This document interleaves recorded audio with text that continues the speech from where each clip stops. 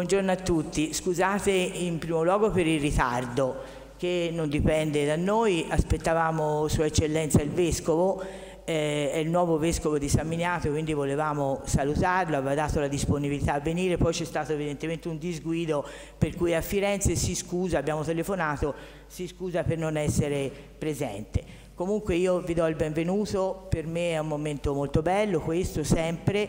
perché incontrarsi è estremamente importante per il centro studi sulla civiltà del tardo medioevo. Oltretutto oggi siamo anche in streaming perché? perché eh, queste giornate hanno anche carattere divulgativo e quindi è bene che si abbia la possibilità di raggiungere un pubblico anche lontano che a questa maniera può seguire l'evolversi e l'evoluzione degli studi sulla civiltà del tardo medioevo, quelli più aggiornati. Quindi io ringrazio in primo luogo i relatori, il Presidente del Comitato Scientifico Andrea Zorzi, a cui darò poi subito la parola. Eh, I relatori sono tutte persone di grande disponibilità, di grande competenza e eh, noi siamo molto affezionati a queste persone. Uh, stamani mattina c'è anche una relatrice eh, insieme al professor Luongo, la relatrice Nicoletta Baldini che conosciamo perché abbiamo incontrato eh, in, un, eh, in, un, ciclo di incontri eh, sull'arte del 1300 e 1400, quindi è stato anche preparatorio a questo. Perché mi soffermo su questo aspetto? Perché noi contiamo molto sulle collaborazioni. Collaboriamo con tutte le istituzioni culturali di Saminiato, in particolare il Dramma Popolare, ringrazio il Presidente che è qui con noi, il Dottor Gabbanini, collaboriamo con eh, l'Accademia degli Oteleti, ora molto presto eh, ci incontreremo, eh, collaboriamo con l'Università del Tempo Libero e quindi questo è un impegno forte perché laddove si crea rete inevitabilmente poi non solo le istituzioni culturali si vivacizzano ma c'è anche la possibilità di offrire opportunità più ampie di conoscenza a chi ha sete di sapere e eh, cerchiamo di farle sempre di grande qualità. Quindi questo è il nostro impegno, ecco perché colgo l'occasione per salutare Nicoletta Baldini proprio per creare questo legame di continuità con il lavoro che abbiamo svolto con le altre associazioni.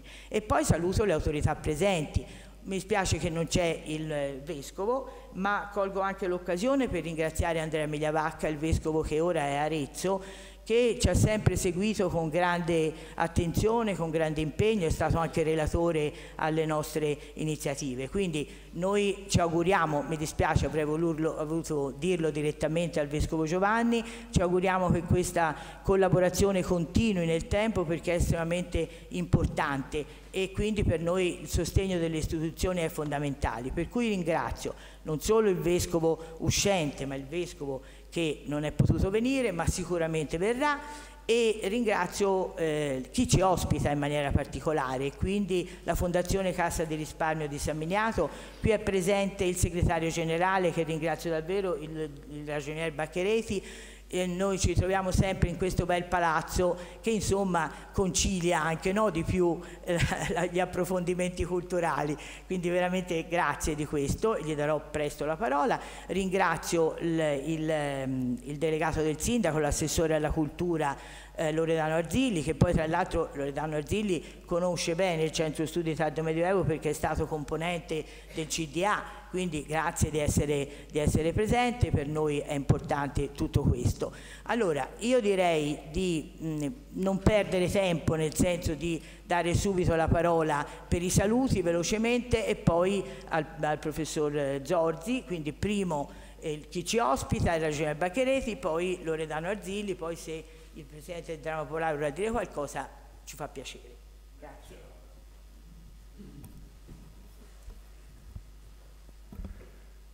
Buongiorno, buongiorno, buongiorno a tutti. La professoressa mi ha già presentato, sono il segretario generale della Fondazione Cassa di Risparmio di Saminiato, saluto l'autorità civili, le autorità accademiche che qui sono presenti nella nostra sede. Vi porgo il più caloroso benvenuto e il saluto del Presidente della Fondazione Antonio Guicciardini Salini che questa mattina ho l'onore di rappresentare. Sottolineo, vi ringrazio per aver scelto la nostra sede per la ottava giornata di studi della Fondazione Tardo Medioevo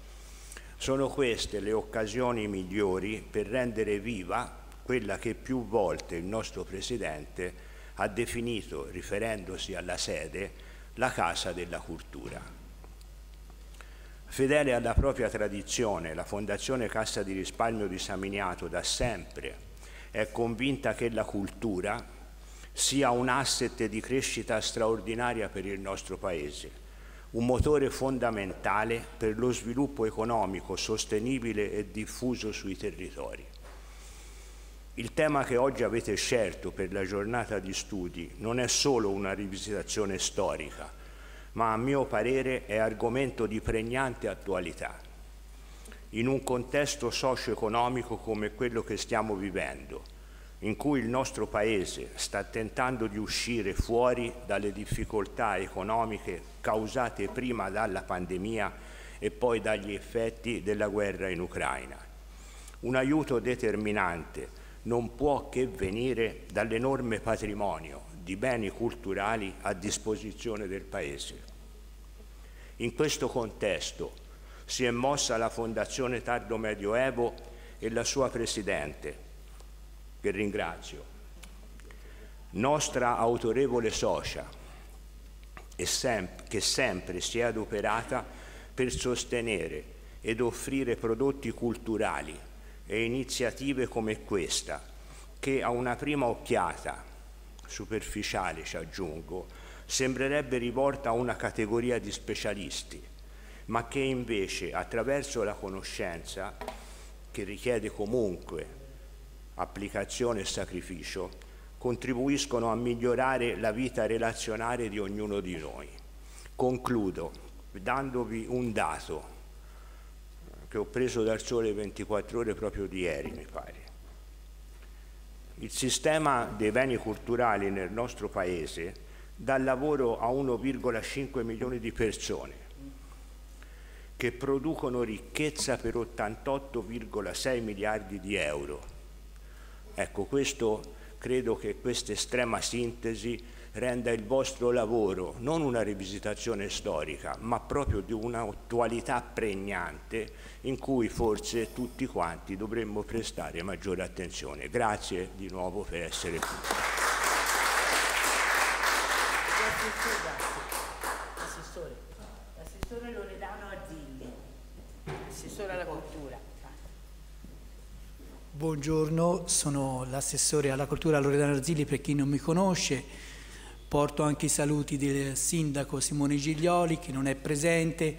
perché si trova all'estero, è un, per un gemellaggio con una città del Belgio, Silly, quindi si trova là e quindi io lo rappresento indegnamente il sindaco stamani mattina. Eh, che dire, una cosa, sì, Laura, ho fatto parte anche veramente con orgoglio di questa fondazione che nacque, se non ricordo male, nel 1985. Ha un'intuizione di un assessore proprio alla cultura del comune di San Miniato, la nostra Marinella Marianelli.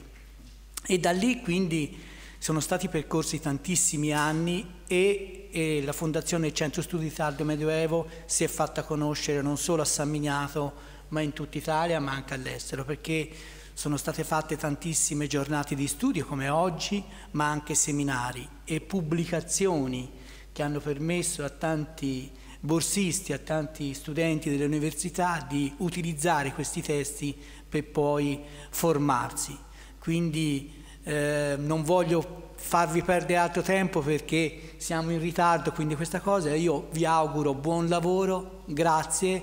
per, chiaramente per il lavoro che svolgete e quindi anche a Laura Baldini che poi il Comune di San Miniato insieme al Presidente della Fondazione Carismi ha rinnovato proprio adesso il nuovo CDA e quindi è stata riconfermata Laura Baldini come Presidente e tutti gli altri componenti del, del CDA, ad eccezione eh, di, un, eh, di, un, consigliere che per motivi familiari, per motivi di impegni ha lasciato, ma è stato sostituito degnamente dal preside dell'ITC Alessandro Frosini. Quindi io anche per questo vi auguro buon lavoro a tutto il nuovo CDA e anche ringrazio il Comitato Scientifico Andrea Zorzi per il lavoro che svolgete quindi nel Centro Studi Italia di Medioevo. Grazie, buongiorno.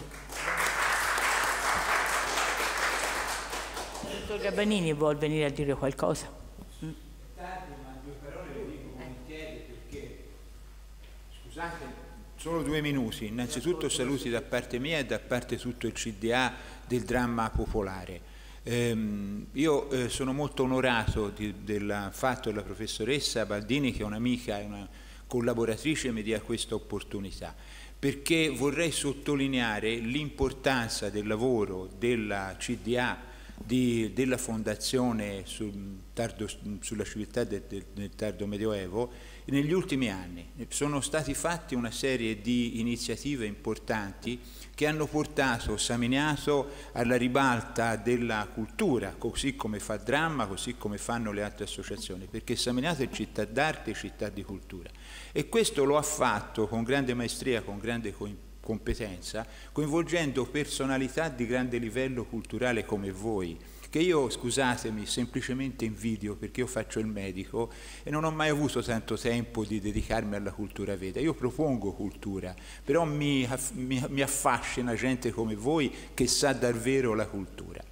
Ecco, eh, sottolineo anche l'intuizione eh, che eh, come me ha avuto la professoressa e i suoi CDA eh, delle collaborazioni. La cultura è in crisi, in crisi in tutti i sensi, per cui se si vogliono ottenere dei risultati bisogna collaborare fra le associazioni. Siamo fortunati perché a Seminato abbiamo la Fondazione Cassa di Risparmio, un presidente che ha una grande sensibilità culturale e questo ci permette di andare avanti tutti insieme.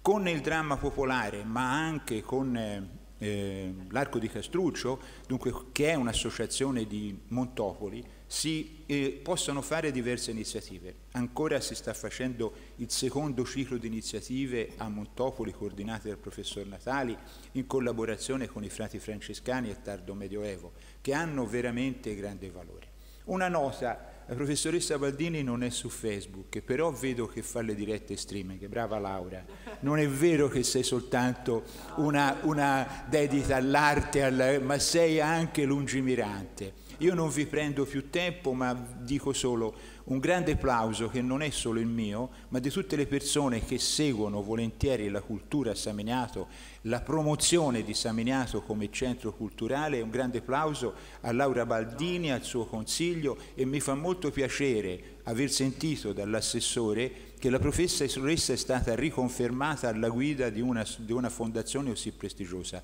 Chiudo con, eh, augurandovi un buon lavoro e proponendo un applauso per la professoressa perché si merita il ruolo.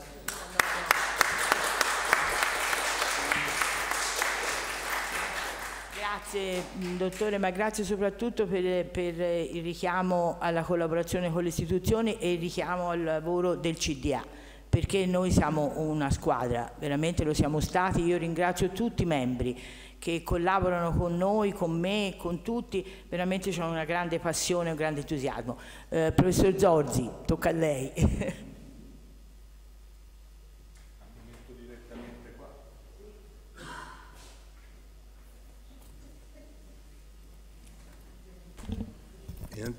Innanzitutto chiederei al collega Carocci di prendere senz'altro posto. Devo dire che eh, sono molto ammirato e sempre veramente affascinato dalla ricchezza eh, del tessuto culturale e dell'attenzione eh, delle istituzioni a sostenerlo. Quindi gli interventi che mi hanno preceduto sono tutti di grandissimo valore, lo voglio rimarcare, perché le istituzioni che ci consentono, noi siamo qui grazie a, tutti, a tutte le istituzioni che hanno parlato prima di me, sostanzialmente attraverso i loro rappresentanti, a cominciare da chi ci ospita qui, dalla fondazione che svolge un ruolo eh, fondamentale insieme al Comune e che ci, ha, ci hanno entrambe sempre appoggiato eh, nelle nostre iniziative, in un contesto che è stato richiamato bene dal segretario eh, generale, insomma, quello dei beni culturali che genera ricchezza, lavoro e soprattutto genera quel capitale immateriale che appunto è la cultura e la capacità di formare attraverso le nuove generazioni una continuità di tessuto civile che è tipico del nostro paese, in alcuni contesti in modo particolare. Io credo che, sia, che San Miniato sia veramente una delle, non lo dico perché siamo qui, ma in assoluto è, è indubitabile uno dei, dei luoghi dove c'è un'attenzione molto forte di tenere insieme una dimensione scientifica e con, cerchiamo di, di, di, di crearla, di mantenerla nel tempo, un'apertura anche internazionale, insomma, far convenire qui studiosi e giovani eh, da tutto il mondo e con una rete di relazioni locali importantissima che è proprio quella che è stata testimoniata nei saluti precedentemente. Non sono assolutamente cose scontate e questo territorio esprime assolutamente più di altri, più di moltissimi altri, questa capacità di tenere insieme attraverso una rete, una collaborazione, non che sia naturalmente eh, una eccezione felice, ma è sicuramente tra i territori culturalmente più avanzati, non solo della nostra regione, ma lo posso dire del nostro paese, insomma, eh, andando anche in giro in più luoghi come altri colleghi del comitato scientifico. Questo indubbiamente si deve alle istituzioni che ci sostengono, ma anche agli individui, perché poi le istituzioni sono gli individui che ci lavorano dentro. E come presidente da alcuni anni del, del, comitato scientifico posso testimoniare la fortuna di aver incontrato nelle istituzioni tutta una serie di ormai amici sostanzialmente negli anni con i quali lavoriamo a cominciare assolutamente dal lavoro centrale proprio di, di, di playmaker che fa eh, Laura Baldini insomma eh, di tenere insieme tutta una rete di collegamenti, ma il CDA, di cui è stato, mi ricordo, proprio membro il nostro assessore inizialmente, ci siamo conosciuti lì, è assolutamente importante questo tessuto di, di individui che si muovono coerentemente all'interno delle istituzioni. È un bene prezioso che va coltivato, ecco, eh, non lo possiamo dare per scontato, quindi va rinnovato costantemente nei luoghi appropriati e eh, per quanto ci consta eh, scientificamente eh, cerchiamo di farlo come comitato scientifico e con eh, tutte queste occasioni in cui eh, i relatori incontrano eh, più giovani studiosi in un legame che è proprio quello della formazione, della formazione avanzata. Ehm, quella di oggi è l'ottava giornata di studi eh, coincide grosso modo con il, rinnovamento eh, istituzionale della, del comitato scientifico che ha avviato, e siamo eh, all'ottavo anno, eh, questa giornata si tiene quasi sempre a maggio, in collegamento tematico con tutta una serie di iniziative che l'anticipano, ne ha citate alcune eh, la professoressa Baldini, tengo a sottolineare anche l'impegno diretto di alcuni membri del comitato scientifico nell'Università del Tempo Libero proprio come legame tematico che cerchiamo di mantenere, insomma un po' di battistrada su questi temi eh, l'abbiamo fatto anche quest'anno grazie ai colleghi che si sono eh, resi disponibili come, come, sempre hanno fatto in questi anni. Eh, nelle nostre intenzioni eh, il tema dell'arte viene declinato quest'anno eh, in relazione con eh, l'economia. E eh, nella nostra intenzione è stato proprio il professor Carocci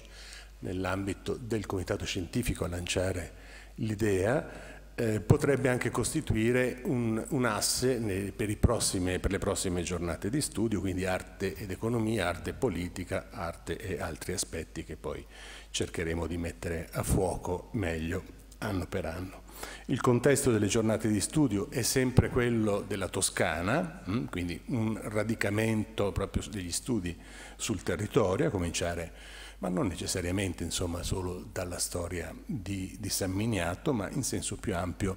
quella rete, quello spazio in cui eh, economico, politico, culturale, religioso e quant'altro San Miniato eh, venne a, eh, a trovarsi e svolgere il proprio ruolo. L'arco di tempo è quello del tardo medioevo, qui meglio definito tra il XIV e il XV secolo. Questa mattina all'introduzione del professor Sandro Carocci, che è membro del nostro comitato scientifico, come anche i due relatori successivi, Franco Franceschi e Alma Poloni, eh, sono tre, i tre interventi di questa mattinata. Non so se abbiamo un break eh, alle 11.30, quindi cercheremo di rispettare eh, questo impegno. Quindi lascio senz'altro eh, la parola a, a Sandro Carocci dopo aver rinnovato veramente con molta sincerità e ammirazione eh, i, miei ringraziamenti a nome anche di tutto il Comitato ai nostri enti sostenitori, diciamo così. Prego Sandro.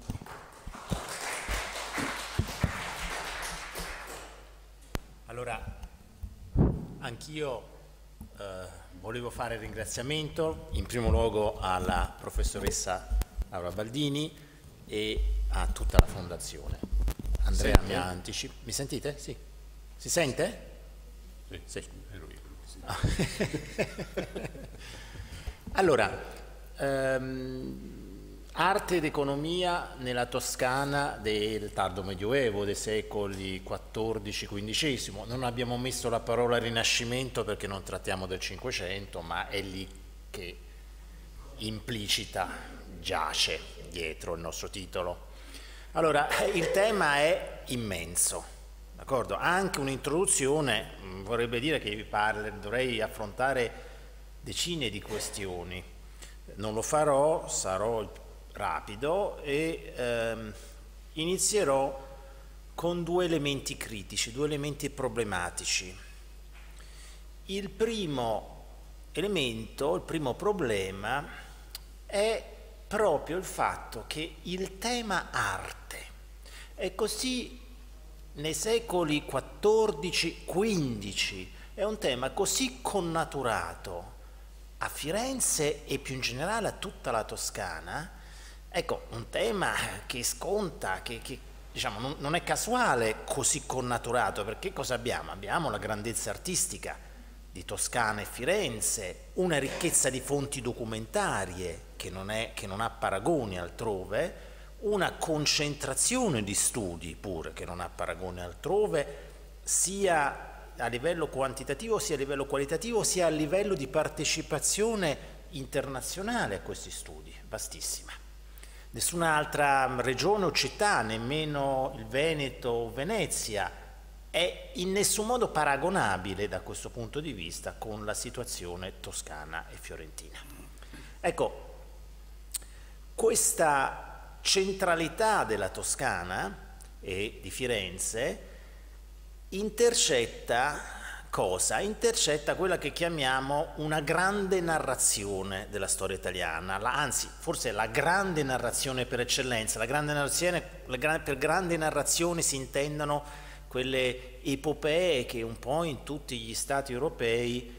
sono la cultura elaborato a sostegno e a conferma delle identità nazionali, gli elementi di specificità di una cultura nazionale e anche l'apporto alla storia della civiltà mondiale che quella cultura nazionale ha dato. Ecco, in Italia la grande narrazione per eccellenza è il Rinascimento. Allora, ehm, bisogna che sia chiaro, le grandi narrazioni non sono sbagliate, no, la grande narrazione inglese della rivoluzione industriale, nessuno nega che l'Inghilterra abbia fatto la rivoluzione industriale, però le grandi narrazioni condizionano il nostro modo di fare ricerca e di interpretare il passato, quindi presentano dei rischi su cui torno, penso che torno adesso fra pochi minuti in chiusura. Il secondo elemento eh, critico, il secondo elemento problematico è niente proprio di meno la domandina cos'è arte, cosa intendiamo per arte. Allora, il, chi legge il programma vede che abbastanza della giornata eh, noi ci concentriamo sulle cosiddette arti figurative o belle arti, cioè eh, la eh, trilogia eh, classica di pittura, scultura, architettura. Ora, tutti noi però sappiamo anche quanto è difficile distinguere. Eh, Cantini, ad esempio, ci parlerà solo di grandi iniziative architettoniche? Dove finisce la grande, l'architettura come arte, dove inizia la costruzione di pregio?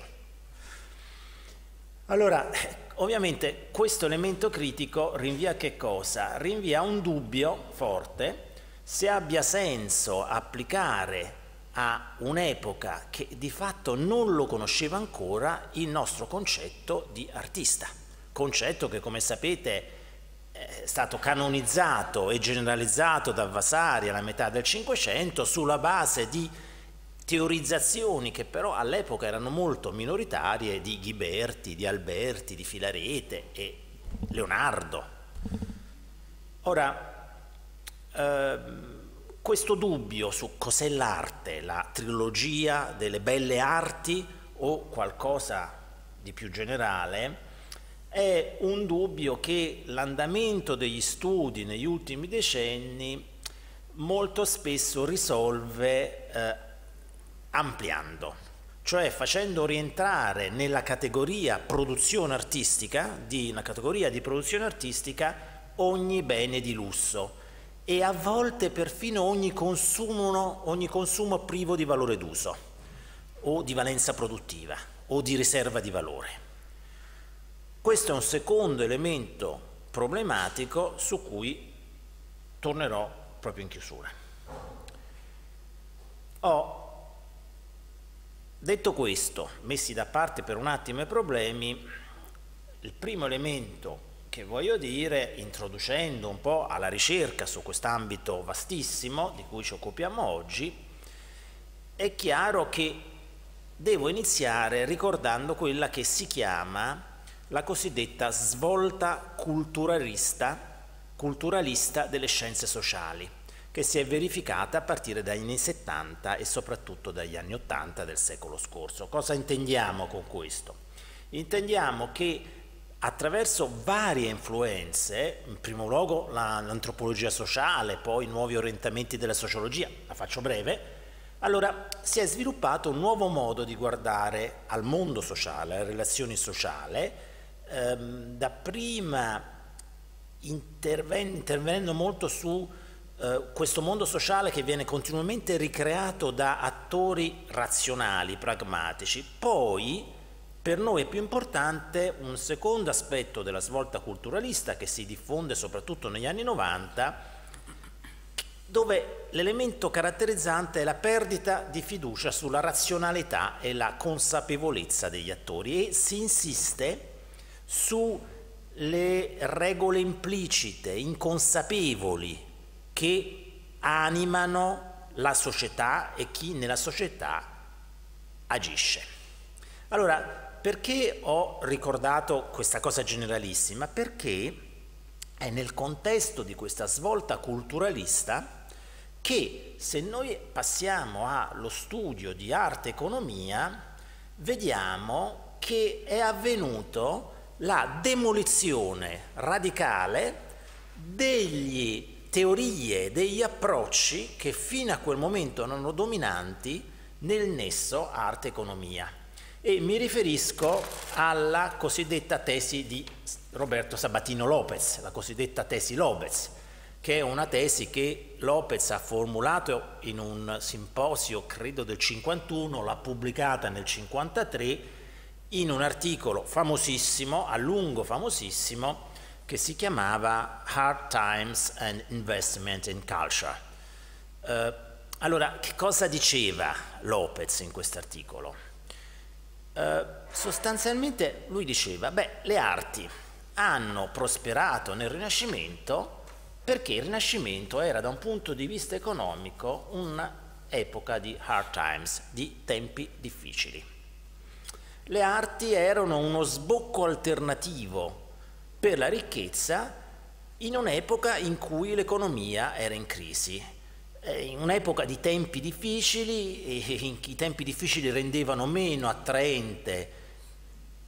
reinvestire in nuovi affari i profitti e quindi c'erano più risorse per il consumo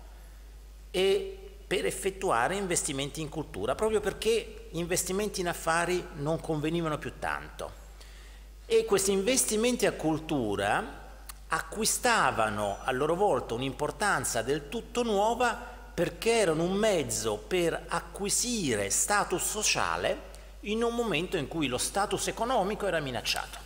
Per compensare una debolezza economica, di status economico, si investiva sullo status sociale. Uh, in seguito eh, questa teoria ha avuto ulteriori sviluppi, il premio Nobel John Hicks, un economista, nel suo Theory of Economic History ha addirittura teorizzato che in generale il momento in cui l'espansione economica si arresta è un momento magnifico, dice lui, perché è il momento in cui le risorse il vigore intellettuale passano dagli affari alla cultura. Ulteriore sviluppo nella storia d'Italia in Audi, pubblicata nel 74, Ruggero Romano, interessato a questo problema all'epoca considerato dominante della crisi, del declino italiano, l'Italia è sempre in declino, secondo una certa storiografia, ecco, un colpevole era individuato proprio nel consumo improduttivo d'arte che avrebbe distolto risorse preziose dall'economia verso questa cosa. Allora, vi dicevo, nel contesto questi approcci sono dominanti, per esempio innervano tutta la grande operazione della storia d'Italia in Audi, sono dominanti fino agli anni 80. Agli anni 80 iniziano a traballare e vengono affossati drammaticamente proprio nell'ambito di questa svolta culturalista. Il libro di referenza qui è il libro del 93 di Richard Goldwaite, che nel 93 lui pubblica il libro che in italiano, tradotto subito, suona Ricchezza e domanda d'arte nella Toscana eh, del Rinascimento, insomma, del, sì, del Rinascimento. Adesso non mi ricordo il, il riferimento cronologico esatto. Allora, cosa fa Goldwaite in questo libro del 93? Rovescia le interpretazioni di Lopez sostanzialmente e sostiene che il trionfo dell'arte e della cultura non è dipeso dalla depressione economica, ma anzi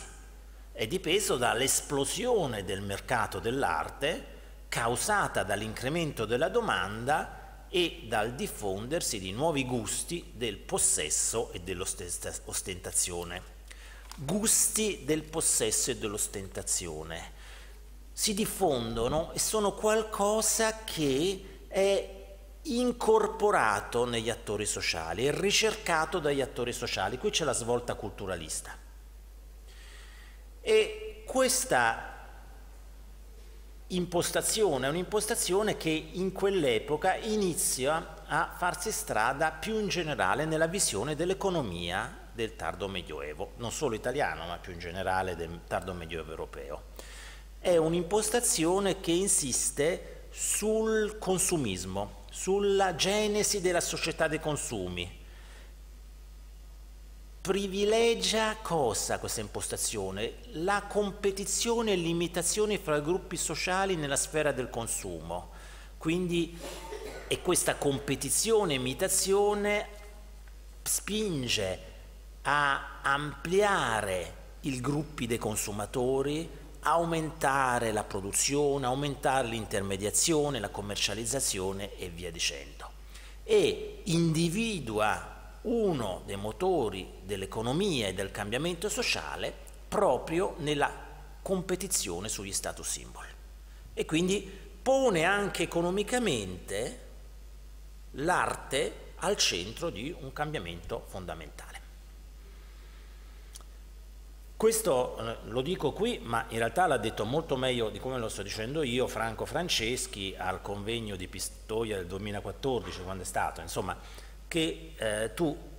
lo dicevi che mh, questa impostazione ha impattato molto sulla storia economica e già ricordavi come la settimana Datini del 2002 su economia arte mostrasse questo aspetto. Cosa mostra? Cioè uno slittamento dall'economico al sociale, all'economico sociale. Nel credito non si guarda più al tasso di interesse, ma ai meccanismi della fiducia. Nella produzione si preferisce studiare piuttosto che la grande industria laniera, l'industria del lusso, l'industria della seta e più in generale si passa da uno studio dell'offerta della produzione a uno studio della domanda, cioè del commercio e in primo luogo al tema sociale dei consumi. Allora, tornando più in argomento, io penso che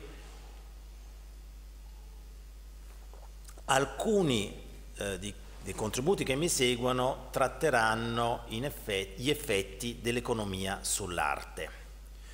cioè declineranno in modo conseguenziale la coppia economia e arte. Quali conseguenze artistiche ha avuto il contesto economico? È una domanda legittima quando noi pensiamo al nesso economia-arte. Eh, qui abbiamo studi che hanno sottolineato l'impatto artistico della domanda e dell'organizzazione produttiva che a quella domanda reagisce. Eh, ovviamente penso a Goldwaite, penso a Rita Maria Comanducci, a studiosi qui presenti e a tanti altri. Mm. Penso a questo fenomeno che vede accanto a, accanto a prodotti in serie di bassa qualità anche una domanda crescente espressa non soltanto da una corte, come avviene in altre regioni, in altri stati italiani, ma dal patriziato e da altri gruppi di consumatori, ecco, gli studi che mostrano come questa tipologia di domanda, questa tipologia di contesto abbia stimolato l'apparizione di nuove tecniche e più in generale come abbia favorito lo sviluppo degli all'interno del mondo diciamo, degli artigiani dell'arte, del, del, del, del, campo artistico, poi bisognerà intendersi cosa si intende su questo, ecco, all'interno comunque di questo mondo artigianale lo sviluppo di una cultura economica e imprenditoriale animata dalla concorrenza, perché per attirare commesse gli artigiani dell'arte più di altri artigiani sono stati spinti a sviluppare e ostentare sempre nuove competenze culturali, nuove abilità, nuovi stili. Lo straordinario dinamismo artistico del Rinascimento toscano e fiorentino, ecco, dipenderebbe molto proprio da questo contesto di domanda e di assetto della produzione, cioè da questo contesto economico. Eh, quindi in questo caso proprio, vi dicevo, gli effetti dell'economia sulla produzione e la qualità artistica. Sono temi importantissimi e spero che avremo modo di riflettere oggi. Però noi il nostro titolo è non economia arte, ma arte e economia. Allora, quindi si può formulare in questo modo la domanda, cosa ha fatto l'arte per l'economia toscana, come, come ci dicevamo oggi? Qual è stato il ruolo economico del settore artistico per l'economia toscana. Allora, se io guardo gli studi, eh, devo dire che le risposte formulate si basano in genere piuttosto sull'insieme delle produzioni del lusso, piuttosto che sulle belle arti soltanto, le arti figurative, la trilogia che ricordavo prima. Piuttosto che pittura, scultura, architettura, si parla in questi studi di gioielli, di tessuti di pregio, che sono gli elementi di gran lunga più costosi, di edilizia, di pregio e, e via dicendo. E qui c'è tutto un sostrato di storia economica che rinvia al concetto di rivoluzione industriosa, che rinvia al concetto di genesi di società dei consumi e questo sostrato ha finito, ha spinto per dare grandissimo rilievo all'economia del lusso. Sempre eh, Goldwaite nel suo ultimo libro sull'economia fiorentina sostiene qui forse forzo, ma secondo me prendo l'essenziale di quello che lui dice da questo punto di vista, ecco lui dice, beh se i benefici che Firenze ritraeva dal commercio internazionale hanno finito per avvantaggiare l'insieme dell'economia fiorentina nel corso del Quattrocento, fu perché l'economia fiorentina col suo tessuto di artigianato, del lusso e artistico, fu in grado di rispondere al mutamento culturale che induceva a investire in status symbol. Quindi nel corso del Quattrocento i consumi del lusso vengono esauditi dall'economia fiorentina, crescono ma restano all'interno dell'economia cittadina e toscana più in generale. E così la crescita economica si diffonde in tutta la società, si diffonde ampiamente nella società. Allora, io non so giudicare la bontà di una simile interpretazione, non sono esperto di economia fiorentina, eh, posso notare che in generale questa insistenza recente sul lusso, sui consumi di lusso, su consumi quindi per definizione stessa consumi elitari, va, è una tendenza, è una insistenza che va contro la tendenza sempre più prevalente nella spiegazione della dinamica economica che assegna il ruolo dominante non ai consumi elitari ma ai consumi di massa. Eh, è anche vero che però l'importanza il ruolo dominante dei consumi di massa è qualcosa che uno non può dare come postulato. Ci possono essere state delle eccezioni e indubbiamente la Toscana per molti aspetti era una regione diversa. Quattro anni fa, ricordavo, ero qui a San Miniato e concludevo la giornata di studi sulla mobilità sociale nella Toscana del tardo Medioevo e lì da questa giornata era uscito fuori con forza una peculiarità fortissima della Toscana, il fatto che la Toscana esportava una quantità mostruosa di arrampicatori sociali. D'accordo? Allora, e, come, e come, come ci spiegavamo questo? Io dicevo, ma forse questa peculiarità toscana va spiegata da un lato con una ricchezza di capitale culturale, con una ricchezza di competenze culturali nella finanza, nell'intermediazione, nella conoscenza, così e anche con una ricchezza di capitale sociale, cioè un network, una mafia di toscani nel mondo che supportava chi andava a fare affari in Friuli piuttosto che da altre parti. E dall'altra parte anche, dicevo, era anche però l'effetto che il mercato toscano delle competenze era saturo, c'erano tanti concorrenzi. Il mercante che in Toscana non aveva di che emergere perché aveva tanti altri imprenditori abili come più di lui intorno, si trasferiva in Friuli e lì agiva da, come il massimo esperto in molti settori proprio per queste competenze, questi capitali sociali e culturali che aveva. Quindi ecco, la Toscana è diversa, potrebbe essere diversa, quindi potrebbe essere vero che almeno per Firenze, questa economia del lusso ha contato così tanto come vi dicevo, secondo alcuni studi ha contato. Secondo me il problema resta aperto, però si può vedere. Io adesso però, per chiudere, torno ai due problemi, elementi critici che sollevava all'inizio. Innanzitutto ai rischi insiti nella grande narrazione del Rinascimento quando noi andiamo a studiare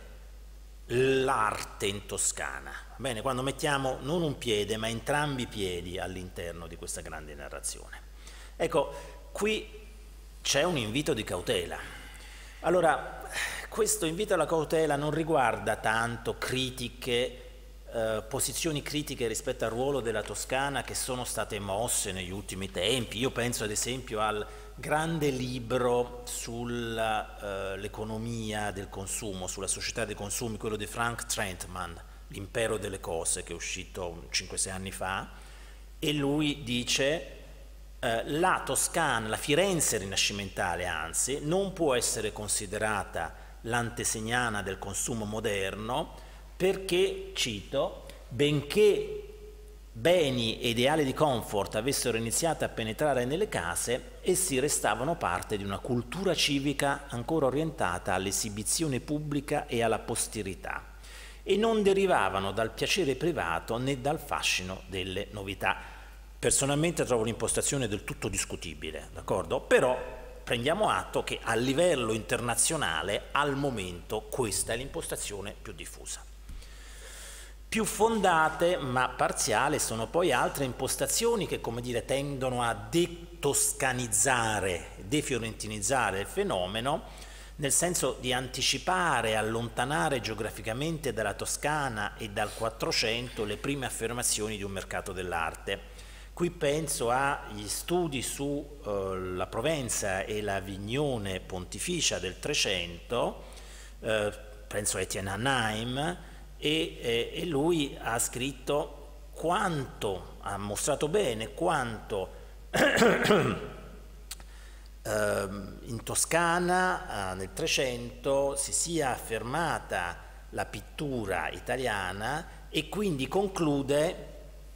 così il mondo avignonese costituì non solo la vetrina europea di una cultura visuale italiana, ma un laboratorio dove si inventarono le nuove forme di consumo artistiche tipiche dell'Europa moderna.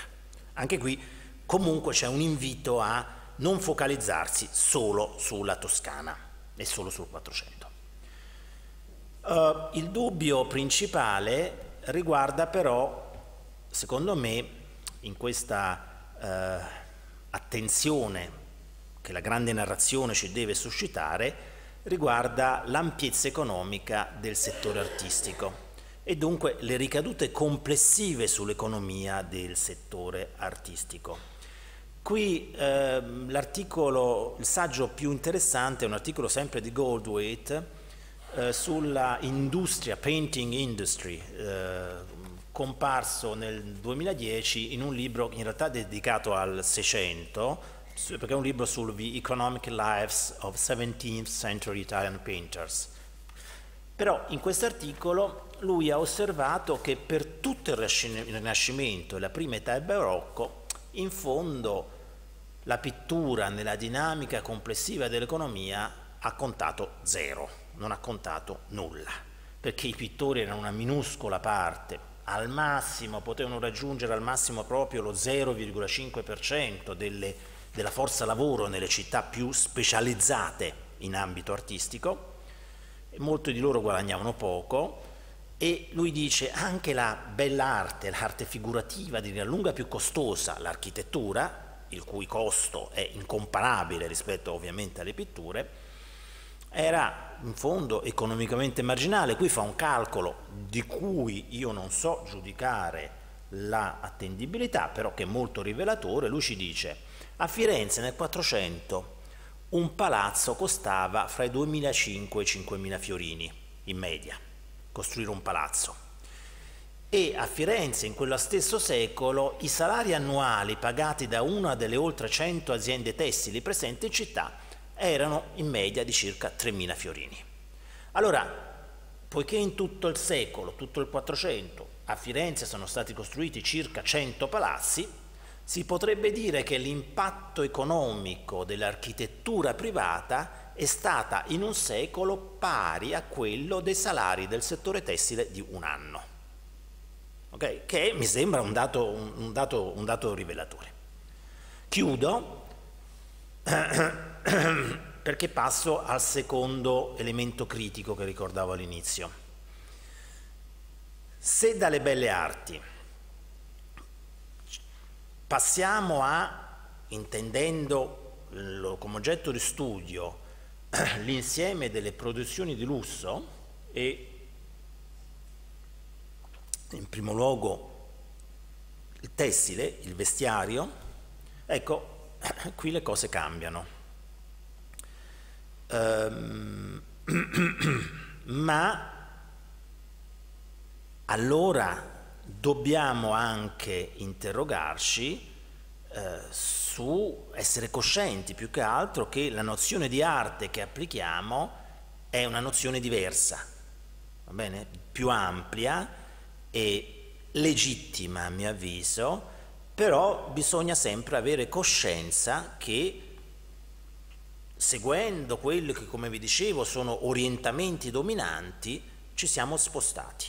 ci siamo spostati in un altro ambito che è legittimo e restiamo in campo artistico, però bisogna lì intenderci cosa vogliamo dire. Ecco, io pensavo che in sede introduttiva questi fossero i due elementi, gli elementi principali da sottolineare e auguro a tutti buon lavoro.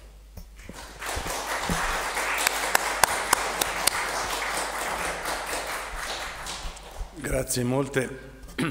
a Sandro Carocci per avere eh, inquadrato con la sua consueta chiarezza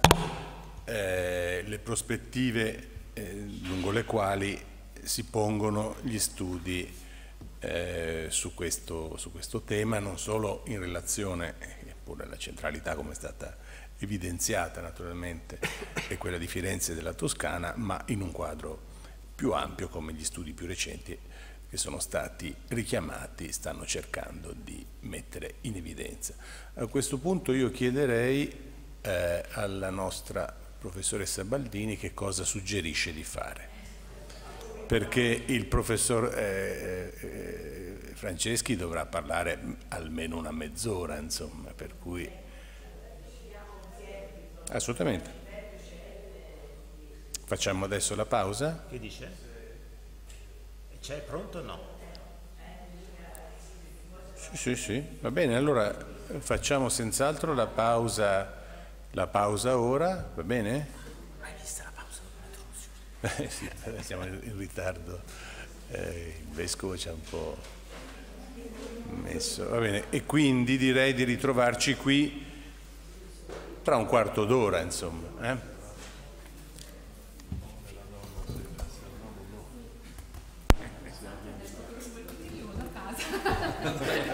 Ti eri?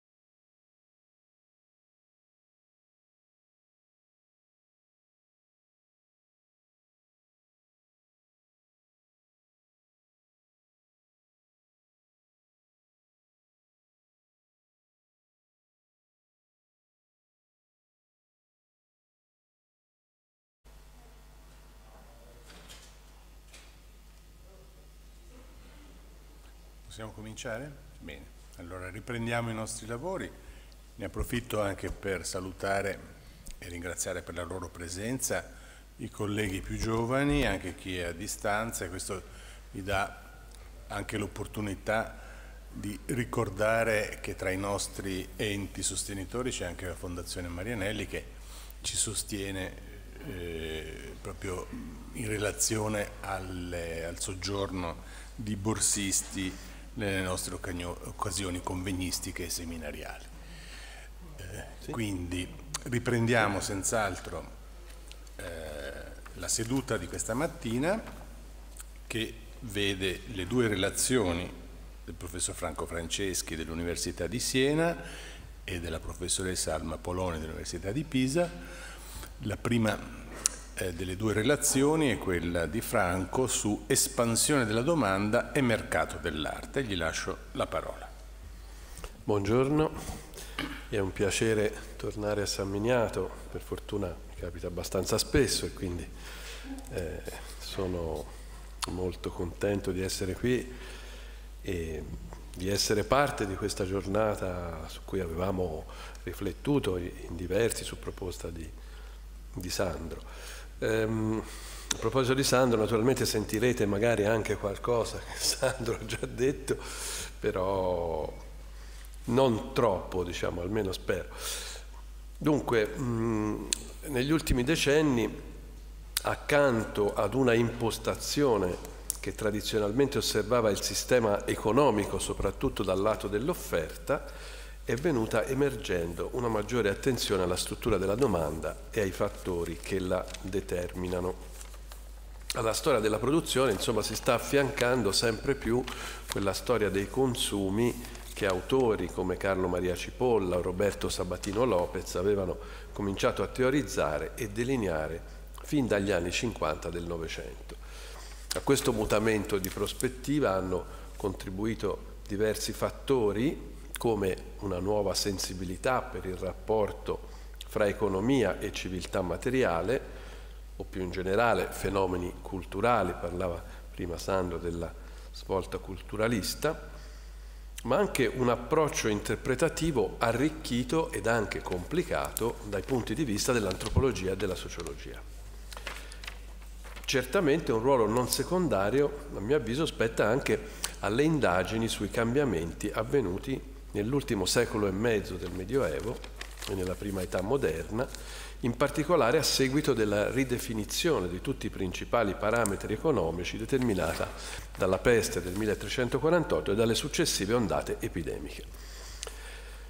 La tesi generale, largamente accettata pur con vari distinguo, è nota. Il crollo della popolazione, limito all'Italia, innescato dalle epidemie iniziate a metà 300, al di là della momentanea disarticolazione delle strutture economiche e sociali, avrebbe agito come una sorta di febbre benefica o, come altri scrivono, un processo di distruzione creatrice, le cui ricadute positive furono l'allentamento della pressione esercitata sui prezzi dei prodotti agricoli di prima necessità, la riduzione dei costi di transazione commerciale, eh, dovuta soprattutto al rafforzamento della sovranità degli Stati e dalla loro accresciuta capacità di ridurre gli ostacoli allo sviluppo economico, il rinnovamento e la diversificazione del sistema del settore scusate, artigianale manifatturiero e quello che ci interessa maggiormente, l'aumento del reddito medio e della ricchezza pro capite. Qui bisognerebbe distinguere fra ricchezza e reddito, eh, che sono sempre due indicatori, come dire, che ci troviamo un po', un po', sempre fra i piedi, insomma, che però non sono propriamente la stessa cosa, anche se si vede bene poi che gli storici, a seconda di quello che hanno, utilizzano l'uno o l'altro, a volte anche tutti e due. Dico delle cose molto note, ma come diciamo sempre, insomma, queste sono giornate anche di, di, di divulgazione, speriamo di buona divulgazione nel mio caso.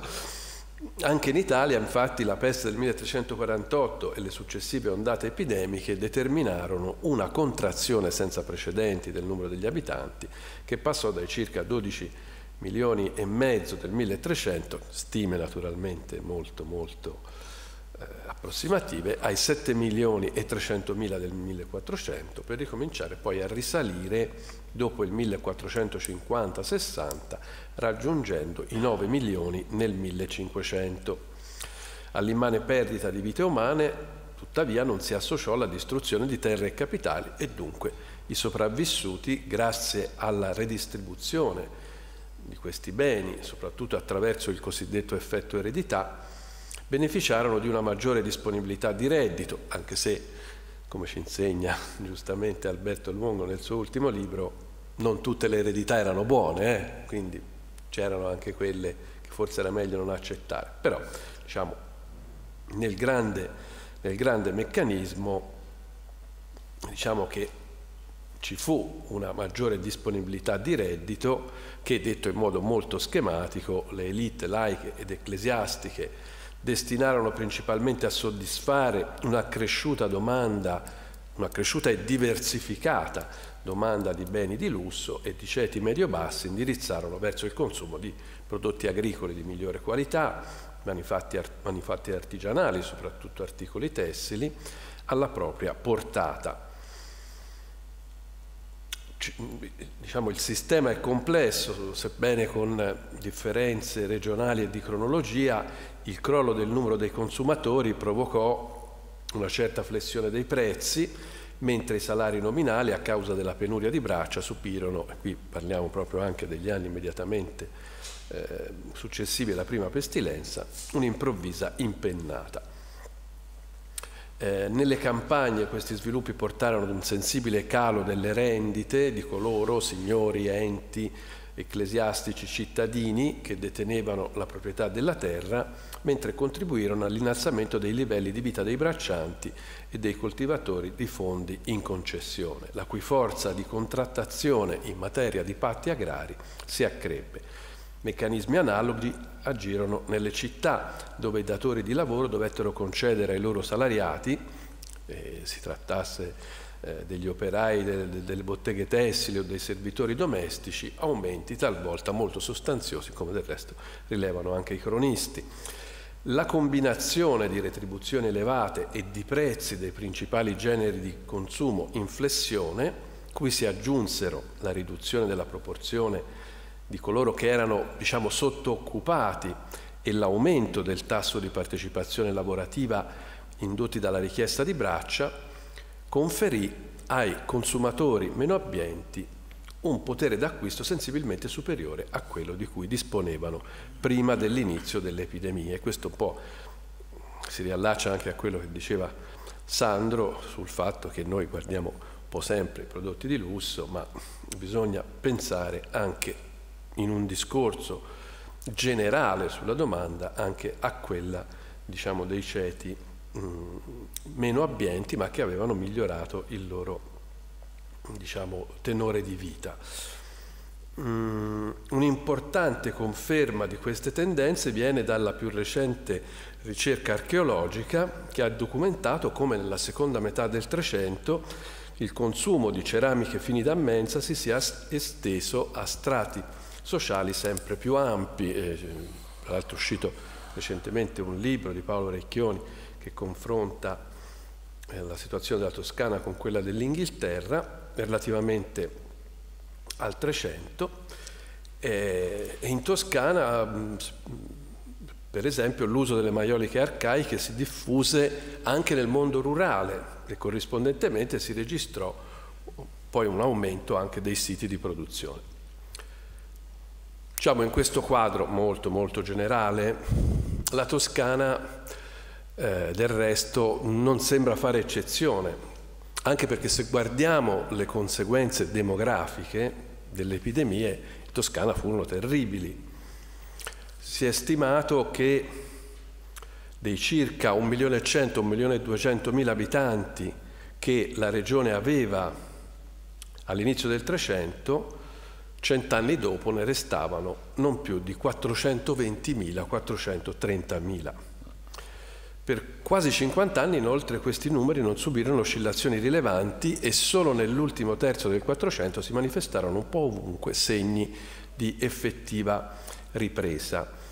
L'incremento poi divenne più marcato con l'inizio del Cinquecento e alla metà del secolo la popolazione della Toscana aveva raggiunto e forse superato le 700.000 unità, ma consideriamo che questo livello non rappresentava che il 60% della consistenza ademica di inizio 300. Quindi diciamo una regione che fu sicuramente molto colpita dalle epidemie e che fu anche lenta nella ripresa, naturalmente con alcune disuguaglianze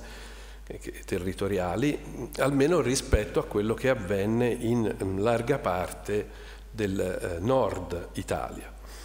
E questi due fenomeni sono particolarmente evidenti nella, in città, insomma nell'ambiente urbano, perché eh, mentre appunto nelle città dell'Italia settentrionale la eh, diminuzione della popolazione fu fra diciamo, il 1300 e la metà del 400 relativamente contenuta, fra un quarto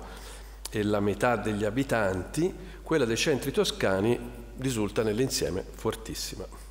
Con l'eccezione forse di Lucca, poi appunto queste città recuperarono, come si diceva, molto,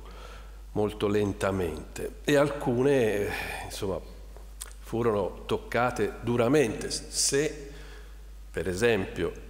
i dati del catasto del 1427 sono attendibili, cosa della quale io un po' dubito, ma non si può dire perché si va contro a una storiografia secolare che considera il catasto un monumento, e lo è, però insomma Pisa 6-7 mila abitanti, Arezzo 4 mila, ma poi si scopre che l'85% dei fiorentini possiede la casa, no, c'è qualcosa che non torna, ma vabbè, questo è un altro discorso. Firenze, che appunto Firenze al culmine della sua ripresa cinquecentesca ha 60.000 abitanti, che è la metà di, quello che probabilmente, di quelli che probabilmente aveva inizio 300. Ora, fenomeni eh, di questa eh, grandezza, numeri di questa grandezza non potevano eh, non sconvolgere la distribuzione del reddito e quindi la fisionomia della domanda, come del resto si è visto anche nel caso aretino, studiato bene da Alberto Luongo, che parlerà oggi qui. Naturalmente è molto difficile poi però eh, documentare la natura esatta dei cambiamenti. Quello che è certo è che proprio per l'aumentata capacità di spesa di singoli e famiglie, per non parlare poi di tutti gli altri diciamo, protagonisti sul mercato, gli enti, compresi quelli religiosi, la diminuzione del numero dei consumatori, che come dicevamo fu fortissima, non implicò una riduzione proporzionale dei beni e dei servizi acquistati. Altrimenti avremmo avuto una crisi nera, diciamo, anche di tipo produttivo, visto che quando anche la domanda si fosse ristretta in termini assoluti, si era allargata in termini relativi provenendo da più settori della società con maggiori disponibilità d'acquisto. Come è stato giustamente osservato, inoltre, la parola d'ordine nel campo dei consumi, a partire dalla seconda metà del Trecento, sembra essere stata più, non più tanto la quantità, ma la varietà, e questo anche ai massimi livelli. I ricchi in particolare si caratterizzavano come tali se potevano procurarsi ogni genere di merce disponibile sul mercato. Un aspetto caratteristico della domanda della clientela ricca o almeno benestante era costituito proprio dalla richiesta di oggetti d'arte, un insieme, abbiamo sentito anche le difficoltà evocate da Sandro, variegato e spesso dilatato fin quasi a coincidere con l'ambito stesso delle creazioni di lusso, come ha eh, osservato anni fa Marcello Fantoni ma al tempo stesso direi non del tutto riconducibile a questa categoria del lusso, data l'esistenza di un mercato di oggetti di valore monetario decisamente contenuto, eh, come esempio classico certe immagini devozionali. Non sta a me, non ne sarei in grado, decidere quali tipologie di prodotti rientravano fra quelli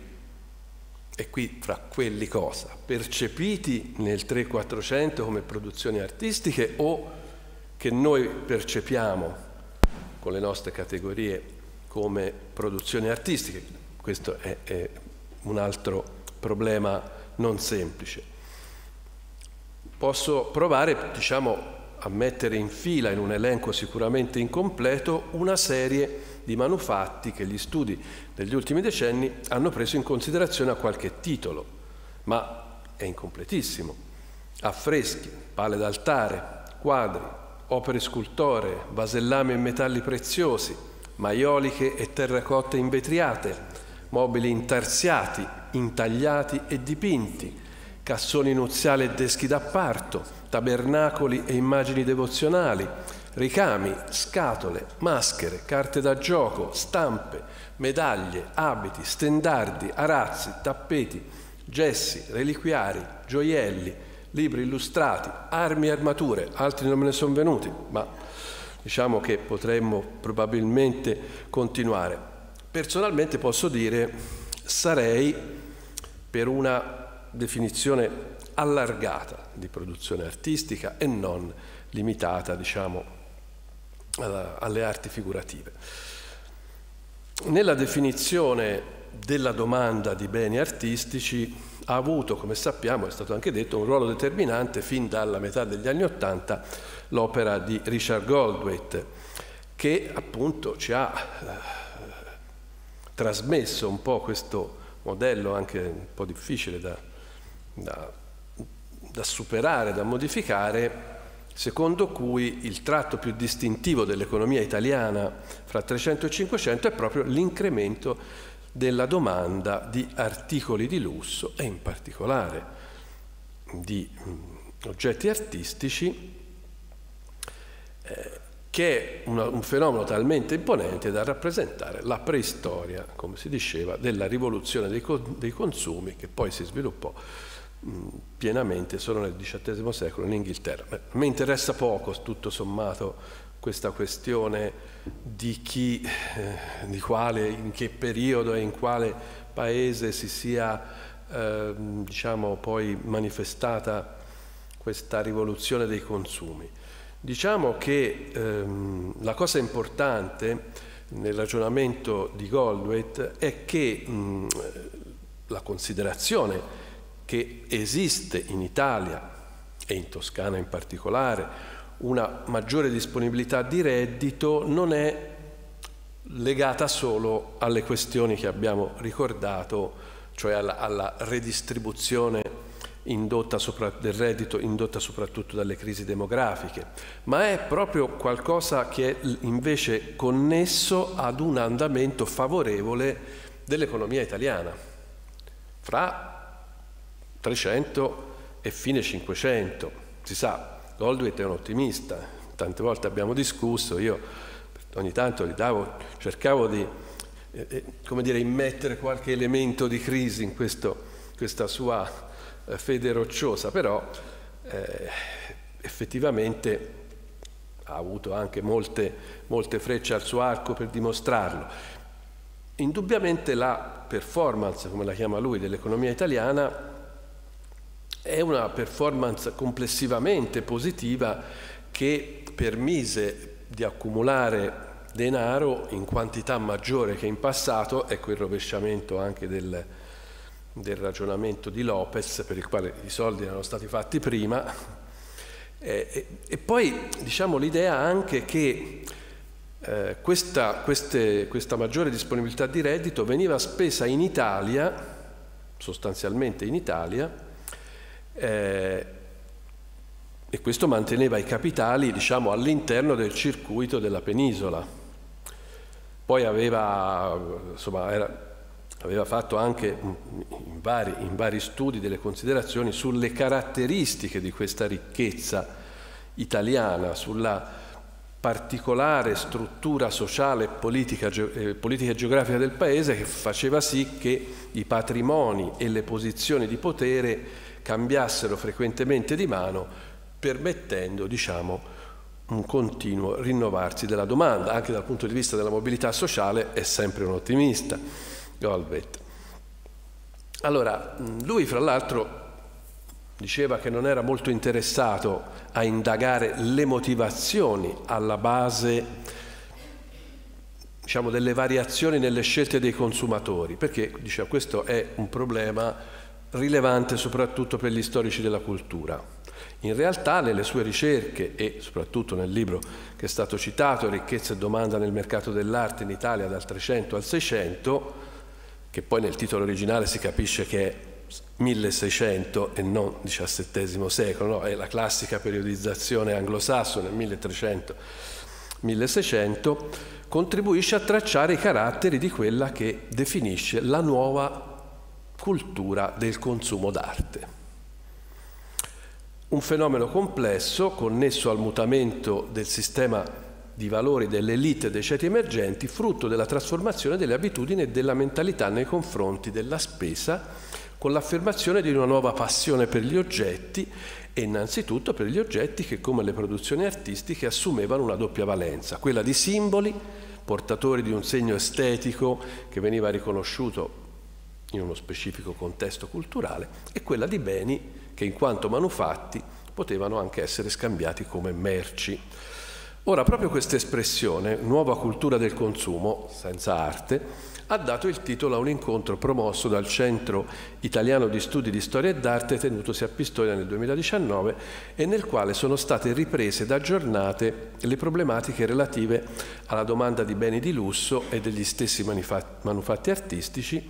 che negli anni 90 del XX secolo e all'inizio del XXI avevano fatto l'oggetto di una serie di seminari e convegni, tra cui spicca il mercato dell'arte in Italia, secoli XV-XVI, svoltosi a Firenze nel 2000, con sessioni su domanda e consumi, produzione, prezzi, imprenditori e strategie, rivenditori e intermediari, articoli di seconda mano. Sì, c'è stata un po' una fiammata, diciamo così, in questi anni no? su questo tema che poi insomma, si è un po' fermata. Con, tornando eh, a, invece al contenuto del eh, convegno pistoiese,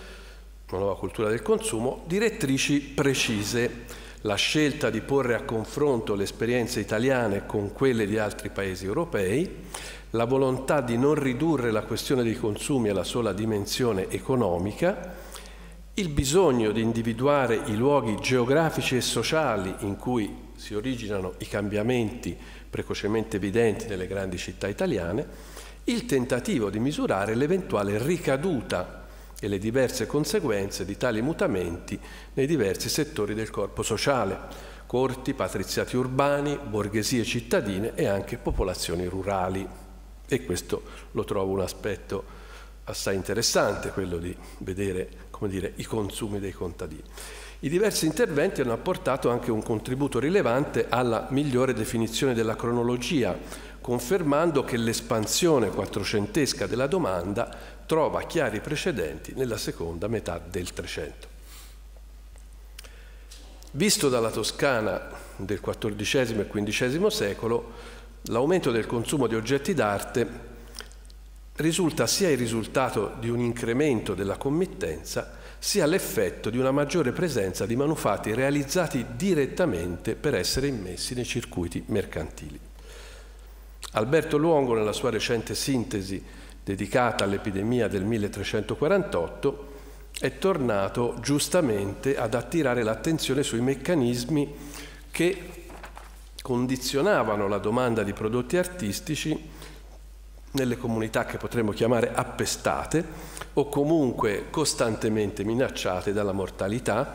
rilevando anche in città come Firenze ed Arezzo una maggiore richiesta di oggetti realizzati a scopo propiziatorio, anche sugli scorta degli studi di Samuel Cohn, di ex voto per chiedere protezione o ringraziare i santi e la Vergine Maria per l'avvenuta guarigione, di committenze per la costruzione di cappelle, tombe, arredi, cicli decorativi e dipinti, committenze incentivati anche dalla paura di finire in sepolture comuni. Come vedete qui ho ritirato fuori dal cappello con le cappelle e le tombe il tema dell'architettura che non ignoro, come si dice, ma che ho voluto lasciare eh, da parte, ho voluto lasciare per Andrea, ma ehm, eh, chiaramente fa parte integrante insomma, di questo ampio settore. Allora, questi fenomeni, eh, sempre nella seconda metà del Trecento, come ha dimostrato Paola Vitolo, indicavano la volontà di investire in opere materiali e stabili che celebrassero nel lungo periodo il ricordo individuale e familiare e che si associavano ad una speculare diminuzione delle spese per i funerali, evidentemente considerati come momento effimero, il cui impatto si esauriva rapidamente e senza lasciare traccia nella memoria collettiva. Devo dire che è un'affermazione che, che come dire, lo, logica, ma sulla quale vorrei vedere proprio i dati, perché poi questa diminuzione delle spese dei funerali no, non risulta da altre, da altre fonti, però risulta invece la crescita di questo altro tipo di iniziative. Si trattava di manufatti che presentavano costi molto differenziati, adatti se non a tutte a molte tasche. Se nella Toscana di metà Trecento un semplice abellum poteva costare 4-5 fiorini, una tomba scolpita e ben eseguita arrivava a 25, mentre per una cappella di famiglia erano necessari fra i 200 e i 500 fiorini a seconda dell'ampiezza e anche degli elementi di cui si componeva. Altri autori hanno insistito soprattutto per il Quattrocento sui mutamenti avvenuti negli stili di vita e nella propensione alla spesa e certo colpiscono parole come quelle dell'umanista fiorentino Matteo Palmieri che includeva negli ornamenti civili la magnificenza degli edifici pubblici e gli ornamenti particolari dei cittadini, ovvero le case magnifiche, gli edifici in pubblico fatti, le masserizie abbondanti e famiglie, cavalli e altre cose, e qui sembra Dino Compagni quando parla dei cerchi, che piuttosto per bellezza di vita che per nostro bisogno s'appetiscono, cercano e tengono. Si tratta, scriveva, di componenti minore dell'utile civile, compito essenziale degli uomini di governo e tuttavia non meno necessarie, giustificando l'utilità del superfluo e la magnificenza dello splendido vivere dei privati cittadini. L'utilità del superfluo non è male. Tra questi elementi di lusso vi erano,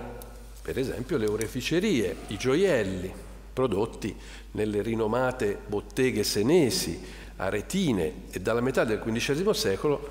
anche molto fiorentine. Anelli, collane, braccialetti, spille da spalla che venivano esibiti dalle donne soprattutto nelle occasioni di festa e in particolare per i matrimoni, come testimoniano al massimo livello le nozze fra Bernardo Ruscellai e Nannina de Medici, che annoverava fra i doni maritali una registrazione fatta con precisione mercantile, una collana ricca con diamanti, rubini e perle di valuta di fiorini 1200 larghi e una brocchetta di spalla con uno grande balascio e perle che costò fiorini 1000 e un'altra per in testa di valuta di fiorini 300 larghi e siamo già a 2500 e un vezzo al collo di perle, di perle grosse con un grosso diamante punta per pendente, che solo il diamante costò ducati 200, e uno cappuccio ricamato di perle, uno frenello di perle grosse di valuta di fiorini 500 larghi, due paia di corna, non mi chiedete cosa sono, di fiorini 200 larghi sempre. No. Costosi. Totale non l'ho fatto, ero arrivato a 2500, allora 2007, 3002, 3400 fiorini. Vabbè. Oro, argento e perle erano spesso anche elementi decorativi di abiti splendidi, più costosi di un'abitazione di medio livello, fatti eseguire su commissione, magari con indicazioni di una impressionante precisione. È il caso dell'abito di velluto alto-basso cremisi, basso, quindi due altezze di pelo, una cosa scolpita, appartenuto a Lena Alamanni, abbellito da una serie di ricami in seta che meritano di essere descritti con le parole usate dal marito, che poi è Francesco Castellani, eh, nel suo libro di ricordi. Ricordo che in nome di Dio, a di 3 dicembre 1448, feci tagliare ad Andrea Sarto uno vestito d'alto e basso Kermisi alla Lena mia donna, presente maestro Giovanni Giberti, ricamatore, al quale detto di diedi a fare certo lavoro sopra la cintola, in sul busto e maniche di detto vestito. In questo modo e forma, cioè che il detto Giovanni mi debbe ricamare d'argento e perle uno collare grande da levare e porre, e in su ciascuna manica su alto, al loco della spalla, certa parte di cielo, con sole e suoi razzi d'oro grandi, et accosto e sotto detti razzi, a mezza la manica, debbe ricamare un'aquila d'oro e perle, grande, volante verso detti razzi su al sole, come naturata a rinnovarsi, e debbe spandere per tutto detto busto e maniche penne d'oro e perle, e così razzi piccoli con certi sprazzi d'oro e perle attorno, e ricamati nel modo e forma dei sopradetti razzi grandi. Scusate la lunghezza della citazione, ma secondo me è, straordinario il modo in cui questo personaggio importante del uh, patriziato fiorentino no? commissiona qualcosa che ha o, o, l'ha disegnato o l'ha fatto disegnare, insomma, è, perché poi non c'è solo, come dire, il disegno in senso grafico, ma lui dà un'interpretazione, no? quando dice che questa deve essere naturata a rinnovarsi l'aquila, insomma, vabbè, avete capito. Avete, abbiamo, scusate, abbiamo evocato, parlando delle vesti, i tessuti di seta che in ragione dei materiali preziosi con i quali erano fabbricati, dei disegni o dei ricami che spesso li ornavano con motivi floreali, animali o addirittura con la figura umana, soprattutto nel caso di quelli destinati ad essere trasformati in vesti liturgiche, in virtù anche della loro speciale capacità di evocare il bello, rientravano a pieno titolo fra le produzioni artistiche. Opinione personale. Produzioni che oltretutto, salvo casi particolari, e mi piace ricordare quello del velluto alto-basso di colore verde realizzato dai setaioli fiorentini esclusivamente per gli aragonesi di Napoli, Produzioni, dicevo, che non dipendevano da committenze specifiche normalmente, ma venivano avviate alla commercializzazione tramite il mercato. Il loro consumo, per quanto difficile da stimare in maniera precisa, era in costante crescita dal secondo Trecento e lungo tutto il Quattrocento e interessava sempre nuove fasce di clientela ben al di là dei membri dell'aristocrazia o dell'ambiente, delle corti signorili, nel mondo mercantile la seta diciamo nel 400 diventa veramente qualcosa di molto diffuso. C'è una descrizione del poeta e cronista eh, Olivier de la Marche che ci racconta i festeggiamenti tenuti a Bruges nel luglio 1468 in occasione del matrimonio tra il duca di Borgogna, Carlo il Temerario, e Margherita di York, che fra l'altro è la sorella di, eh, del re inglese Edoardo IV al quale partecipano tutte le comunità mercantili italiane importanti, ci sono genovesi, veneziani, i fiorentini si presentano capeggiati da Tommaso Portinari, come sappiamo è il socio direttore della filiale eh, del Banco Medici lì a Bruges, e si presentano, dice lui, vestus de satin noir figuré. Bellissimi. E poi dice après di fatter, quindi avevano anche i loro giovani, Vestus de satin noir simple, perché chiaramente erano fattori, e tu avoir poir point cramoisi, e quindi avevano tutti poi, diciamo, dei giubbotti cremisi. Per gli uomini d'affari e per i loro congiunti, al di là delle occasioni di rappresentanza, indossare o almeno possedere abiti preziosi era un irrinunciabile indicatore di status e di distinzione di fatto, come ha scritto Christian Clapiche, a partire dalla seconda metà del Quattrocento non c'era corredo negli strati superiori della società che non contenesse robe, cioppe, cotte, gamurre, saie ricavate da tessuti ricchi e tagliate in modo sontuoso e raffinato. Questa stessa documentazione dei, delle,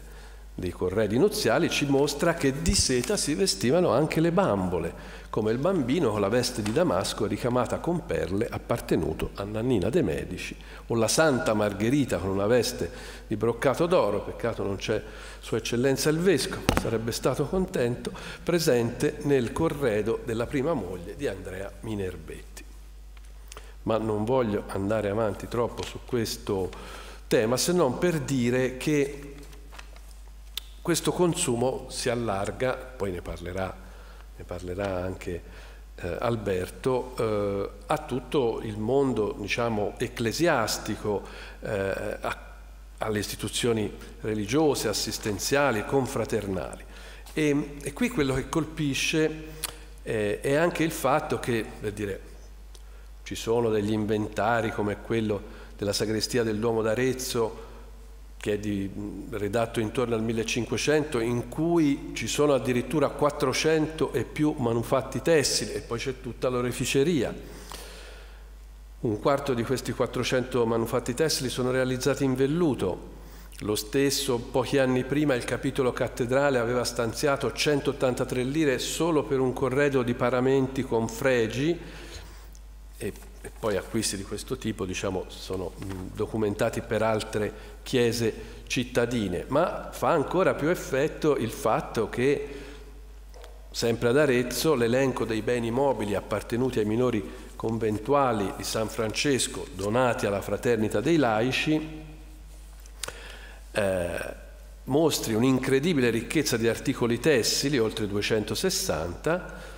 con eh, insomma, cose in velluto, con ehm, disegni di, di, bestiari fantastici, vabbè, vi, vi, faccio grazia. Lasciatemi dire, e qui la, la Nicoletta Baldini mi ora mi bacchetterà, che perfino alla Verna, quindi nel cuore dell'ascetismo francescano, nel crudo sasso, i libri di conti di fine 400, che sono stati fra l'altro in eh, parte pubblicati, testimoniano la presenza di piviali, pianete, cotte, pali, paliotti di seta. E alcuni erano donati, altri, per esempio, piviale fatto di nuovo al modo di broccato, 161 lire, era stato commissionato direttamente dai frati. Ancora so che sto sforando un po'. Ehm,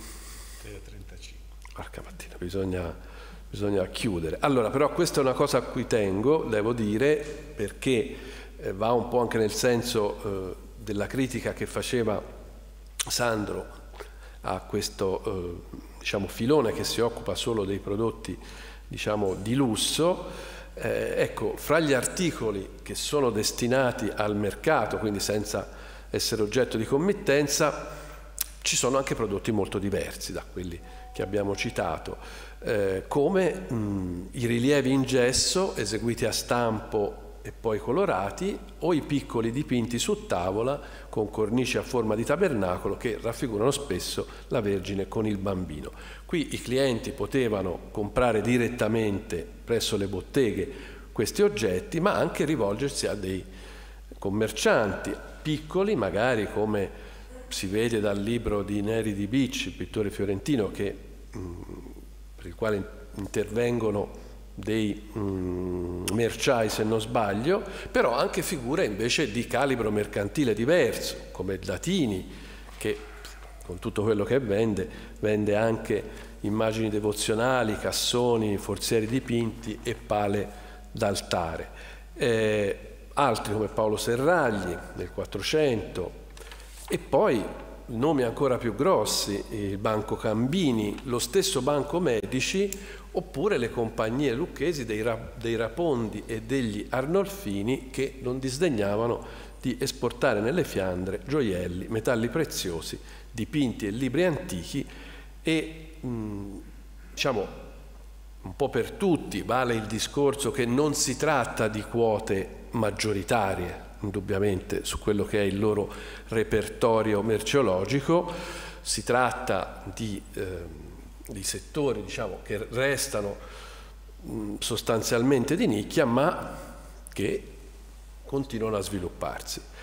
Ultimissimissima cosa, curiosamente abbiamo letto lo stesso articolo per chiudere con Sandro il discorso, cioè penso all'articolo beh, lui ha scritto anche altre cose, ma insomma io ho letto l'articolo di Etienne Anaim sulla eh, pittura appunto delle, delle, dell'Italia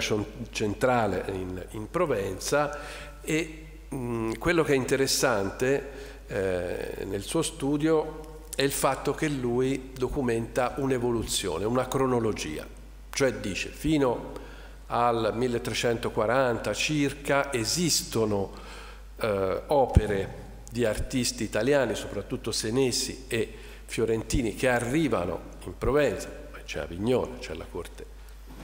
pontificia, i cardinali però e gli altri personaggi che acquistano queste, queste opere non le fanno arrivare, ma chiamano gli artisti. Nella seconda metà del Trecento e soprattutto nell'ultimo terzo del Trecento le cose cominciano a cambiare. Attraverso i documenti datiniani, per esempio, si vedono arrivare delle belle balle, dei belle, eh, di, di eh, piccole tavole eh, diciamo di prezzo contenuto, eh, qualche cassone, qualche oggetto devozionale e, e quindi diciamo che eh, la, il, il, meccanismo cambia insomma, no? da, una, eh, da, una, domanda che è tutta basata eh, sulla domanda, scusate, sulla richiesta diciamo, dei, che viene proprio dalla, eh, dalla Provenza e che si basa sugli artisti, invece ha questo eh, commercio. Però la cosa forse ancora più interessante è che dice, ma attenzione, fra i due sistemi, fra quello diciamo basato sulla committenza classica e quello di chi invece trova dei prodotti perché arrivano direttamente sul mercato, c'è una via intermedia. Qual è la via intermedia? Una sorta di committenza preventiva che serve a far arrivare un certo numero di eh, oggetti tra i quali alla fine scegliere. E questo però devo dire che mi sembra un po' il meccanismo che in fondo usavano tutti i mercanti di, eh, forse di qualsiasi cosa. Sicuramente i mercanti di tessuti. Cito questo e poi chiudo in una lettera da Anversa spedita il 29 maggio 1531, quindi siamo avanti, da Simone Pecori alla compagnia di Filippo Strozzi a Firenze, si dice Oggi di non domandano drappi molto ricchi o come pensiamo peraltro avervi detto qualche pezza di telette d'oro e d'ariento a opere, quindi a disegni. Similiter qualche broccato ricco, alle volte vien loro ventura, massimo quando sono cosa fresca e vistosa. Come dire, mandateci poi pensiamo noi a venderli. Grazie, scusate.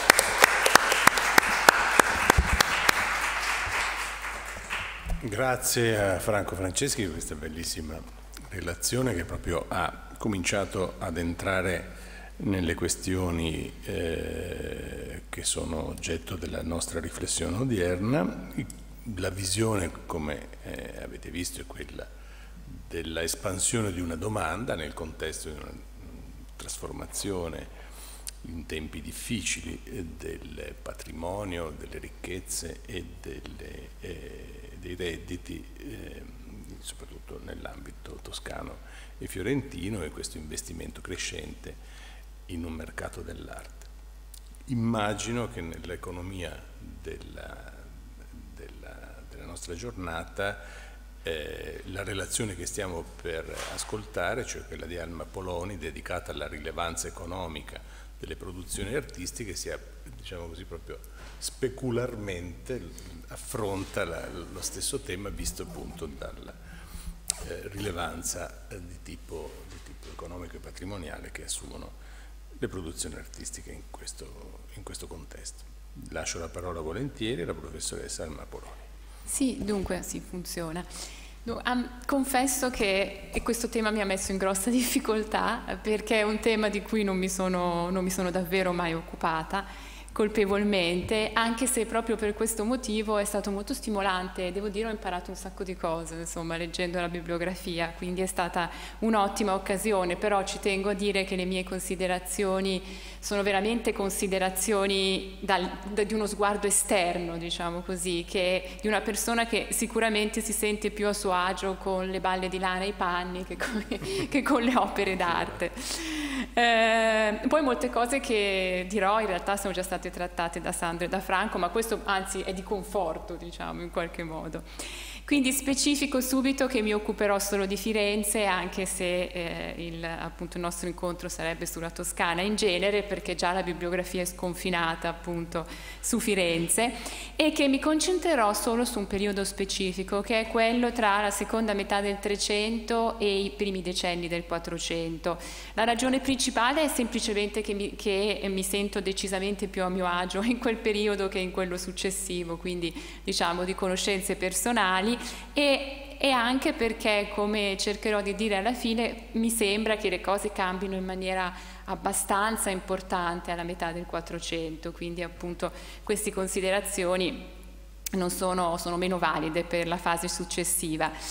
Non mi inoltro sulla difficilissima questione di che cosa, sia, cosa si possa intendere per arte, cosa sia arte e cosa non sia no, è già stato appunto sottolineata la difficoltà di questa domanda. Le mie considerazioni appunto esterne si riferiscono soprattutto alla, alle produzioni delle botteghe dei pittori che come vedremo non sono solo in realtà e, eh, e so, forse nemmeno prevalentemente solo appunto pitture.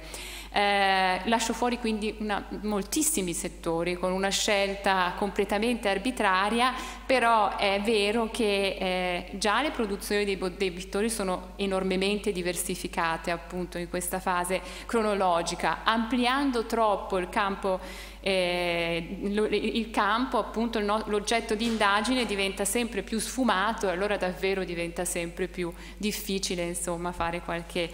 proporre un'interpretazione un pochino più strutturata.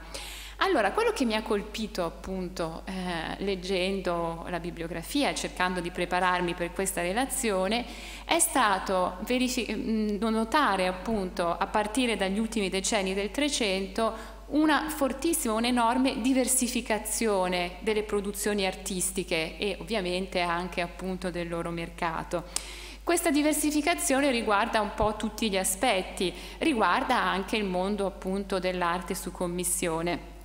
anche eh, proprio le, i committenti, cioè eh, aumenta diciamo, in maniera anche considerevole la varietà in qualche modo dei committenti, cioè si, si riscontra una varietà crescente di committenti. Eh, in ambito latamente religioso, eh, accanto ai committenti tradizionali, chiese e conventi, assume un'importanza sempre più crescente, eh, assumono un'importanza crescente le confraternite devozionali e assistenziali, che in realtà sono una, sono una realtà che per la verità diventa molto più importante anche dal punto di vista economico solo da questa fase cronologica, cioè solo dalla seconda metà del Trecento. Quindi questo è un aspetto eh, che eh, è importante sottolineare perché contribuisce appunto all'aumento in qualche modo eh, della domanda. Così come la committenza privata diventa più ampia non solo eh, per le abitazioni, ma anche, questo ce lo insegna Goldwet, no? è uno degli aspetti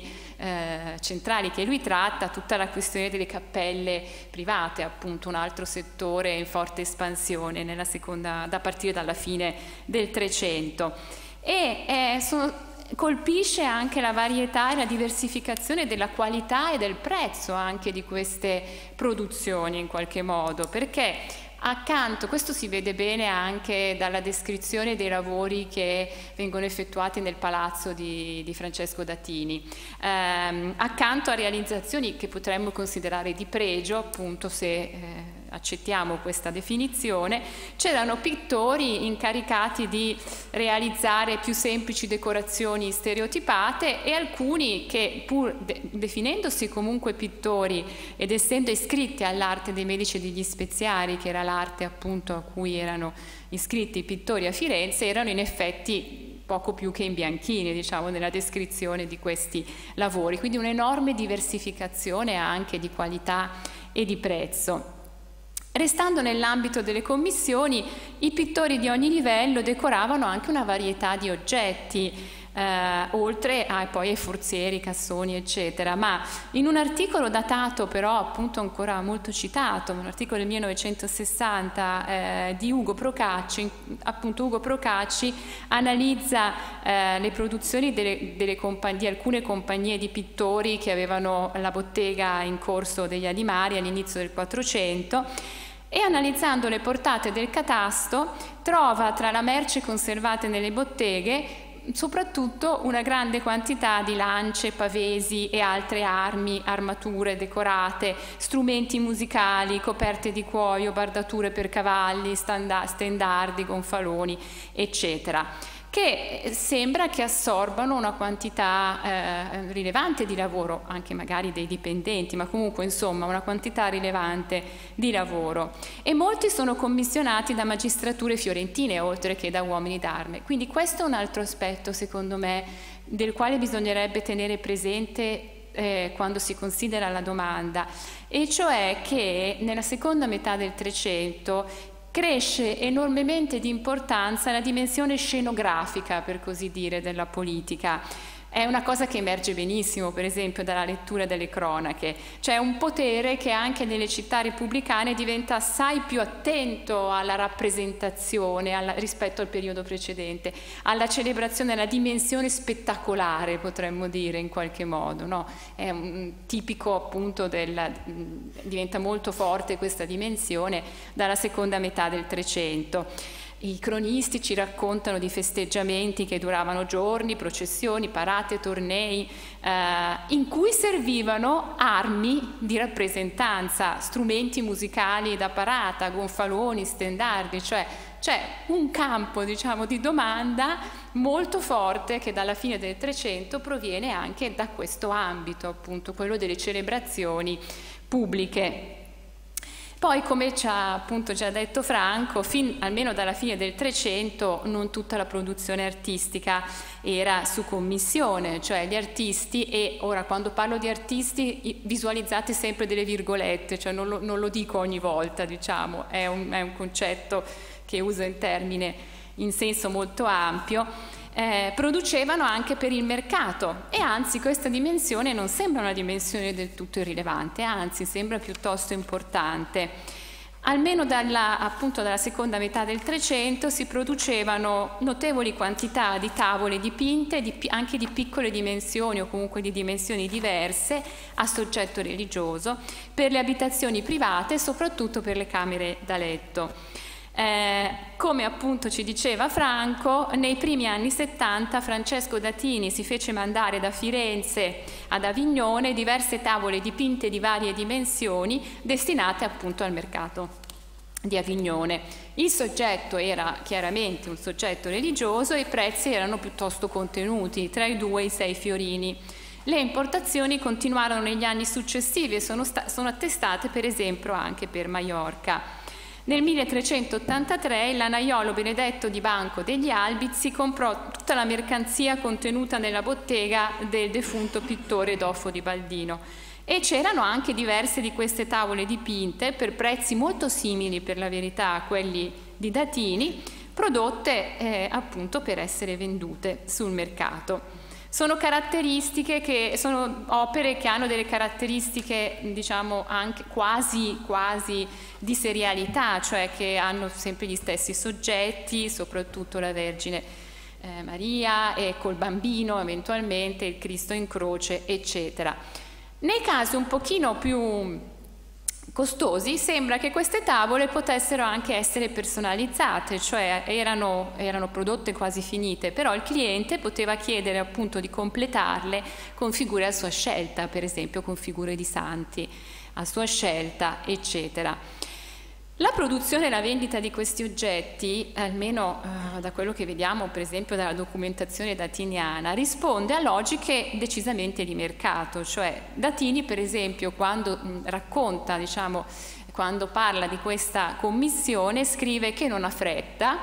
eh, di acquistare. Scrive al suo eh, diciamo, corrispondente a Firenze a cui ordina questo acquisto che non ha fretta perché queste, queste opere non si vendono di frequente e quindi gli chiede di scandagliare le botteghe fiorentine per trovare il miglior offerente, o meglio, il pittore che offriva il miglior rapporto qualità-prezzo. Il modo in cui lui esprime questa commissione è perfettamente identica a quella di qualsiasi altra merce che lui appunto richiede ai suoi, eh, ai suoi corrispondenti. Si indicano in modo dettagliato le caratteristiche qualitative desiderate, persino i soggetti che, che, che, che, Francesco appunto desidera che siano rappresentati e soprattutto la forbice di prezzi accettabile che consenta una volta vendute sul mercato avignonese di realizzare un buon guadagno e si esprime esattamente negli stessi termini di quando ordina dei panni o delle pelli eccetera. Tra i clienti, che sono molto difficili, in realtà abbiamo pochissime informazioni su, sugli acquirenti, ma quelli che conosciamo appunto oltre a personalità di rilievo ci sono anche persone di appartenenza sociale più modesta, tra cui un sarto. Eh, molto nota poi è soprattutto dall'inizio del Quattrocento la produzione di figure sempre a soggetto devozionale, naturalmente in materiali poveri, in gesso, in terracotta, in cera, eh, prodotte appunto quasi in serie, dipinte e vendute a prezzi eh, abbastanza abbordabili. Naturalmente ci si potrebbe chiedere se questa è considerabile arte, appunto, come dicevo all'inizio. Questa è una questione molto complessa che io non sono in grado di, di sciogliere, però mi pare che per questa specifica fase cronologica di cui parlo oggi, cioè quella tra fine 300 e inizio 400, una separazione netta tra l'arte diciamo alta e queste produzioni appare piuttosto artificiale soprattutto perché in fondo gli stessi pittori, gli stessi artisti che eh, dipingevano pale d'altare, affreschi appunto di pregio, riempivano le botteghe anche di queste produzioni che noi definiremmo secondarie, appunto come armi e bardature, come, come si è visto appunto nei casi dei pittori studiati da Procacci, ma anche tavole eh, di poco prezzo, gesti dipinti prodotti quasi in serie, eccetera. Quindi eh, è molto difficile eh, istituire dei confini netti, mi pare insomma. L'impressione quindi è che in effetti dagli ultimi decenni del 300 e, e nei ultimi decenni del 300, primi decenni del 400, in effetti il, mercato delle produzioni artistiche si allarghi a Firenze e soprattutto vada incontro a un forte processo di diversificazione che in realtà è lo stesso identico processo di diversificazione a cui, come ci ha detto Franco, e quindi eh, su questo eh, appunto vado rapidamente, vanno incontro nella stessa fase tutte le altre produzioni anche non artistiche, è una cosa evidente no? nel caso dei panni di lana eh, sia nel commercio internazionale che nelle botteghe dei ritagliatori alla fine del Trecento, veniva commercializzata una varietà di panni di diverse provenienze, di diverse caratteristiche, di diverso prezzo assai più ampia rispetto all'inizio del secolo. Ecco, questo processo di diversificazione in qualche modo eh, sembra interessare anche eh, il campo, l'ambito di cui ci occupiamo oggi. Questo periodo, questo specifico appunto, seconda metà del 300, inizio 400, non è ancora quello che vede l'esplosione del consumo di opere d'arte, cioè in cui le case dei più ricchi si riempiono di raffinati oggetti di arredo, di preziosi gioielli, come abbiamo sentito, di pregevoli opere d'arte, di beni di, beni di gran lusso. A fine 300, da quello che appunto dice chi queste cose le ha studiate, anche nelle case dei più benestanti l'arredamento è spesso composto da pochi oggetti di pregio, non c'è ancora una forte differenziazione degli ambienti come avverrà eh, nei palazzi del pieno e del tardo Rinascimento e le uniche stanze oggetto di una certa cura e di attenzione sono le camere da letto. Non sembra quindi che quello che si verifica fine, alla fine del 300 sia un aumento, diciamo, per esprimerci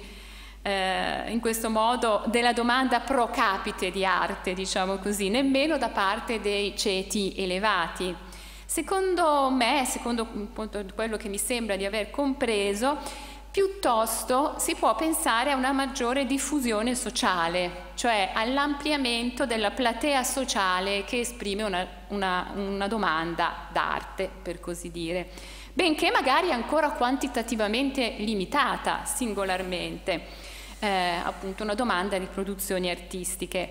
Questo giustifica la diversificazione, eh, si producono oggetti accessibili a diversi gruppi sociali con diversa capacità di spesa e diverse aspirazioni, aspirazioni devozionali, aspirazioni economiche, aspirazioni sociali, per una domanda quindi che appare più articolata rispetto al passato.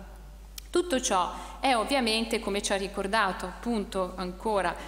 molto bene Franco, legato in modo complesso alle trasformazioni economiche dopo la peste. Um, allora, delle trasformazioni economiche della peste, gli studiosi si sono soffermati soprattutto sulla vessata questione dei salari, appunto, che è stata molto dibattuta e spesso con risultati non del tutto definitivi. Ma la mia impressione che sto cercando anche di sviluppare negli ultimi tempi, appunto, sulla quale oggi chiaramente non mi posso soffermare perché non è il tema eh, di questa giornata, è che queste trasformazioni abbiano riguardato e interessato soprattutto quelle che, diciamo, in senso potremmo definire eh, classi medie in qualche modo, i ceti medi eh, è, un è, una, è, un concetto che ha poco significato di per sé, ma lo uso appunto per intenderci. Questo del resto è un fenomeno che è stato studiato e dimostrato piuttosto bene per le città fiamminghe, ma in realtà è eh, abbastanza evidente anche in molte città italiane, cioè c'è una crescita in termini economici, eh, sociali e persino di, di, politici, cioè di importanza politica, di vari gruppi professionali che in qualche modo eh, si pongono al di sotto del livello dei grandi mercanti internazionali, ma al di sopra di quello degli artigiani,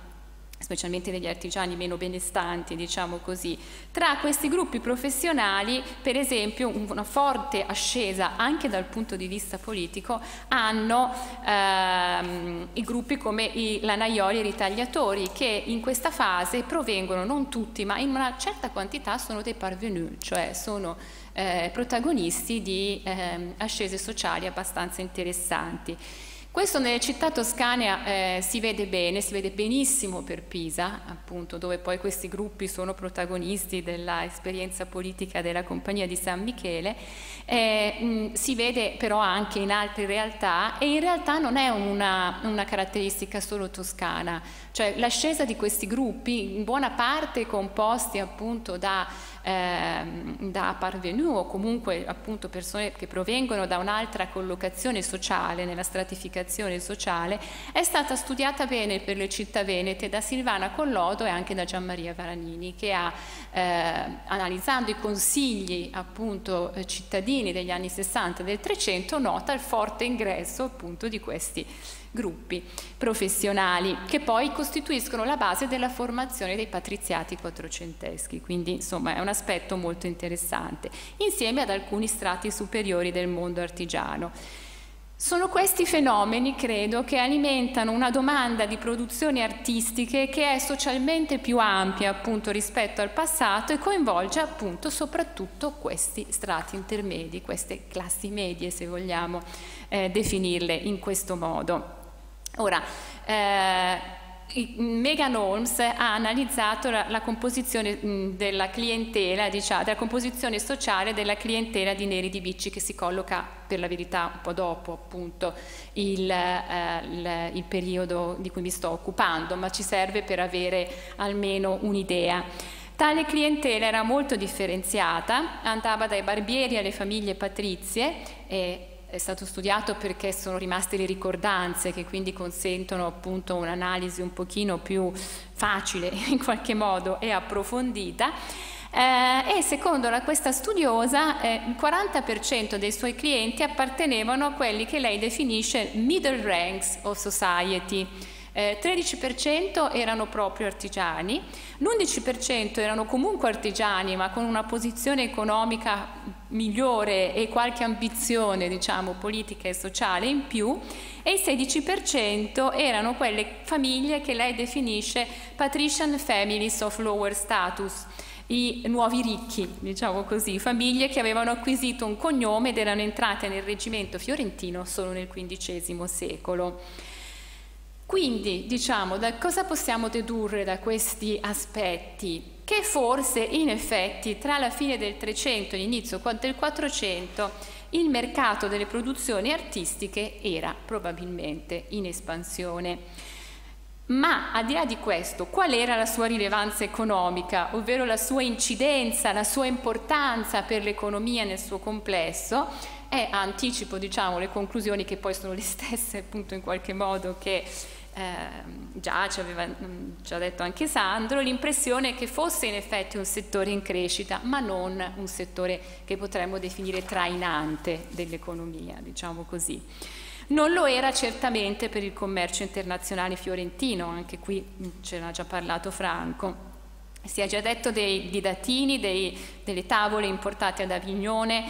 che non avevano certo un posto centrale nei suoi affari. Lui stesso appunto dice eh, nella commissione eh, non ho, non ho, che non ha fretta perché sono cose che si vendono raramente e tanto più per questo motivo la fatica di eh, commercializzare questi oggetti si giustifica solo se se ne trae un buon guadagno, appunto ci dice Datini.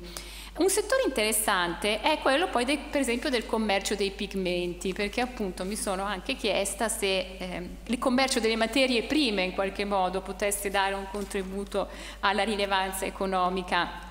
di questo settore. E per curiosità ho eh, dato un'occhiata ai memoriali eh, delle compagnie datiniane di Pisa dove in effetti si trovano compravendite eh, in particolar modo di biacca eh, ma anche indaco, cinabro, altri diciamo, pigmenti coloranti.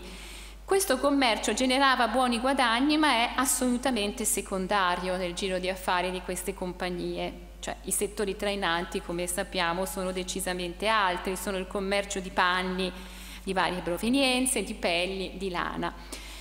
Quindi i mercanti internazionali in questa fase speculavano, come sappiamo, su tutto quello che poteva produrre guadagno, quindi anche sulle produzioni artistiche e o sulle materie prime, appunto come i pigmenti. Ma si tratta, eh, in questi casi tardo trecenteschi, primo quattrocenteschi, di affari piuttosto marginali. Più complesso invece è valutare l'incidenza sull'economia cittadina. Allora, possiamo dire che eh, l'espansione del mercato delle produzioni artistiche produce occupazione, in qualche modo, insomma. Tutto lascia pensare che il numero di persone legate al settore dell'arte fosse in effetti aumentato a partire dalla seconda metà del Trecento.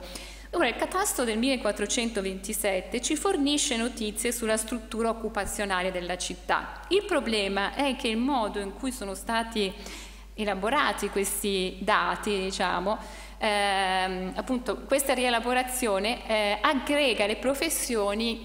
a volte in maniera un po' arbitraria, no? uscendo dall'ambito artistico met mette per esempio insieme l'anaioli e il ritagliatore di panni che è una scelta francamente poco comprensibile perché si tratta di due figure imprenditoriali sostanzialmente diverse, anche se ovviamente contigue. Allora, quelli che vengono chiamati dipintori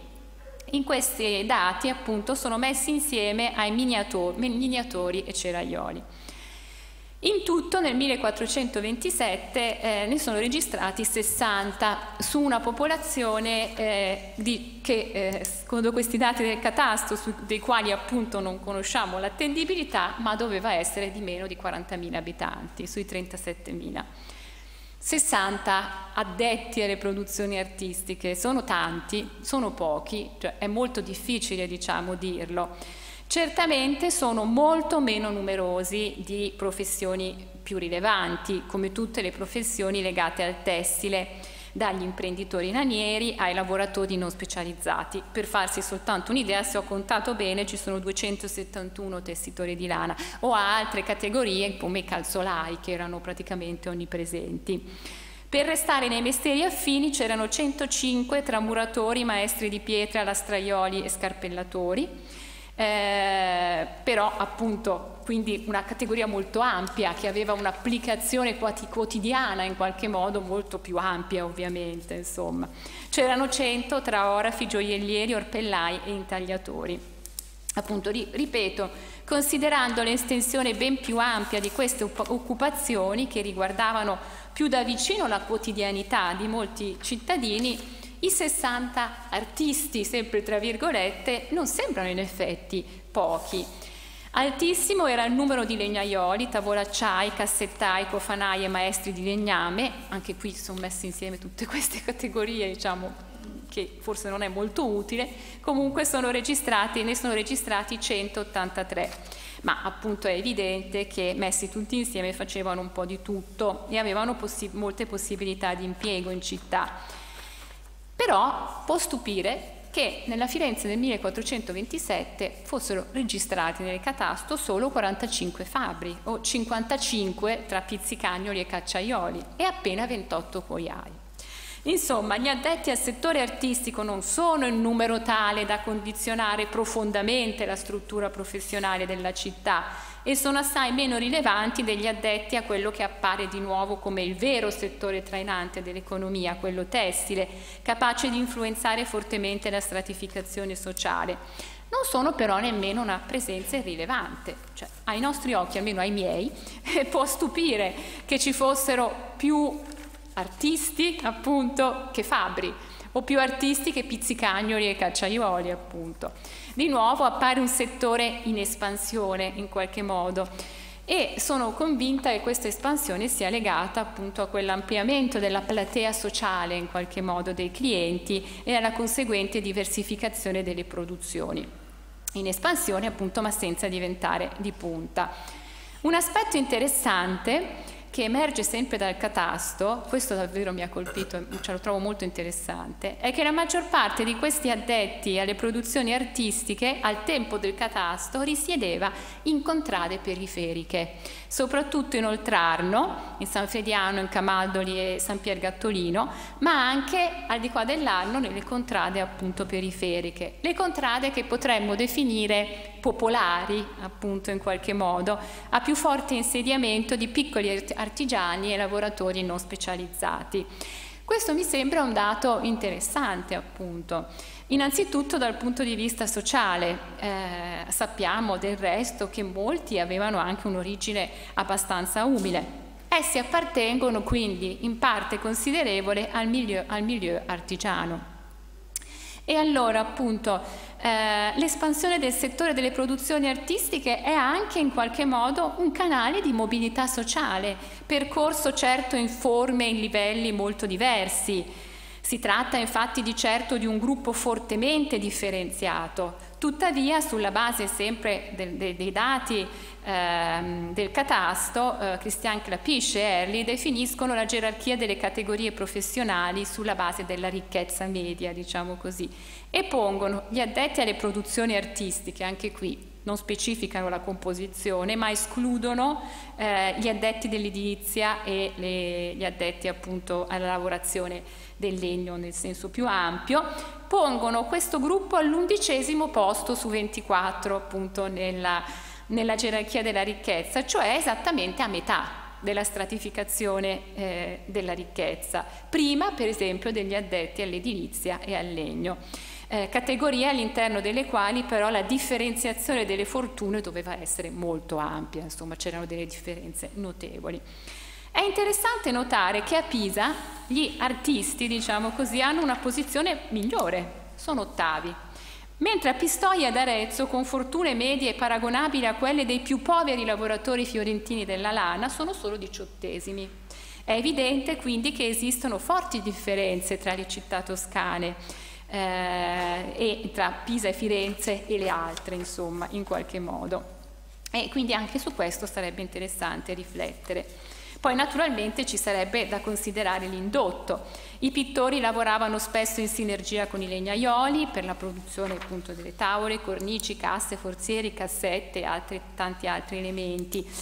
Eh, ma e ho già detto quanto fosse ampia questa categoria appunto, ma anche con orafi, battilori o gli speziali per il commercio appunto dei pigmenti. Nessun settore economico funziona a compartimenti stagni e gli artisti erano inseriti in un mondo di professioni artigianali in cui competenze, collaborazioni, idee e anche capitali circolavano ampiamente, senza che sia possibile individuare confini precisi e netti tra produzione artistica e semplice produzione artigianale, produzioni di lusso e produzioni accessibili a una clientela più ampia, oggetti di prestigio e produzioni seriali, in un continuum appunto eh, nel quale è molto difficile individuare compartimenti stagni, come dicevo. Da questa considerazione possiamo prendere le mosse per un tentativo di bilancio sulla rilevanza economica delle produzioni artistiche. Per questa fase specifica di fine 300, inizio 400, solo per questa fase appunto, è probabilmente impossibile e forse soprattutto poco utile separare il settore delle produzioni artistiche da quello artigianale in senso ampio. Gli addetti alle produzioni artistiche lavoravano e anche vivevano in contiguità e continuità con tanti altri artigiani e in larga parte appartenevano allo stesso ambiente sociale. Il settore artigianale sembra conoscere in questa fase un'espansione, forse anche una forte espansione, legata, come messo in rilievo ormai appunto da, eh, in, molte, in molti dei suoi lavori da Goldwaite, quasi interamente dalla domanda interna. Certamente e nel caso delle commissioni gli artisti ricevevano commissioni da fuori Firenze, questo è ovvio appunto, però una quantità rilevante delle commissioni era interno e soprattutto le produzioni per il mercato erano assorbite in gran parte dal mercato interno. Alla fine del, 300 il commercio delle opere d'arte, eh, benché non assente, aveva un ruolo limitato nel giro d'affari dei mercanti internazionali fiorentini. Questa espansione, appunto, come dicevo, ha certamente a che fare con le trasformazioni economiche successive alla peste, che, come ho detto, appunto, sembrano aver beneficiato soprattutto i middle ranks, gli strati intermedi della società cittadina, più che le elite o le classi umili, più che i ricchissimi o i poveri in questa prima fase, appunto, dopo la peste. Queste classi medie esprimono in questa fase una domanda magari non enorme dal punto di vista quantitativo, ma certamente diversificata e articolata di beni voluttuari di vario genere. È chiaro poi che l'espansione, questo è un altro punto appunto, su cui possiamo riflettere, l'espansione del settore artigiano nel suo complesso, di cui le produzioni artistiche costituiscono un ambito, un campo appunto, produce reddito, cioè produce fenomeni di mobilità sociale e a sua volta va ad ampliare quei middle ranks a cui molti artigiani e gli artisti appartenevano, che a loro volta acquistano capacità di spesa e quindi alimentano appunto la domanda. La crescita economica e sociale di questi middle ranks, in particolare degli artigiani addetti alla produzione del numero crescente di oggetti di lusso e non che riempie le case dei cittadini, è stata, come ho detto, riconosciuta come il fenomeno più rilevante dell'evoluzione sociale di Bruges e di altre città fiamminghe in questa stessa fase. È l'espansione quindi del settore artigianale nel suo complesso del quale, come ho detto, l'espansione delle produzioni artistiche è una componente, a produrre quindi effetti sull'economia cittadina. Ma certo, ripeto, i settori trainanti, quelli capaci di muovere capitali ingenti, di produrre vera ricchezza, di determinare ascese sociali eclatanti, di dare lavoro a migliaia di persone, sono altri e con buona pace di tutti i sostenitori della rilevanza della domanda interna, a Firenze continuano a essere quelli legati alla proiezione internazionale dell'economia fiorentina, il commercio internazionale, la banca, l'industria laniera e poi piano piano anche quella della seta. Quindi concludo solo con una diciamo, proiezione in avanti che eh, propongo alla riflessione appunto. C'è un momento in cui il quadro che qui ho tracciato molto sommariamente, ahimè, cambia. Eh, qui appunto mi muovo davvero in un territorio sconosciuto. Sono rimasta però colpita dai dati riportati da Susanne Kuberski-Piredda sui prezzi delle immagini devozionali tra la metà del 300 e, la, e il 500, la metà del 500. Da questi dati risulta che un cambiamento molto rilevante, direi radicale, si nota nella seconda metà del 400. Il valore medio di queste opere quadruplica rispetto a quello di fine 300, questo anche al netto dell'inflazione e degli altri fenomeni di natura più propriamente economica, ma questo rialzo è dovuto quasi interamente all'aumento esponenziale del prezzo delle opere di livello alto ed esclusivo.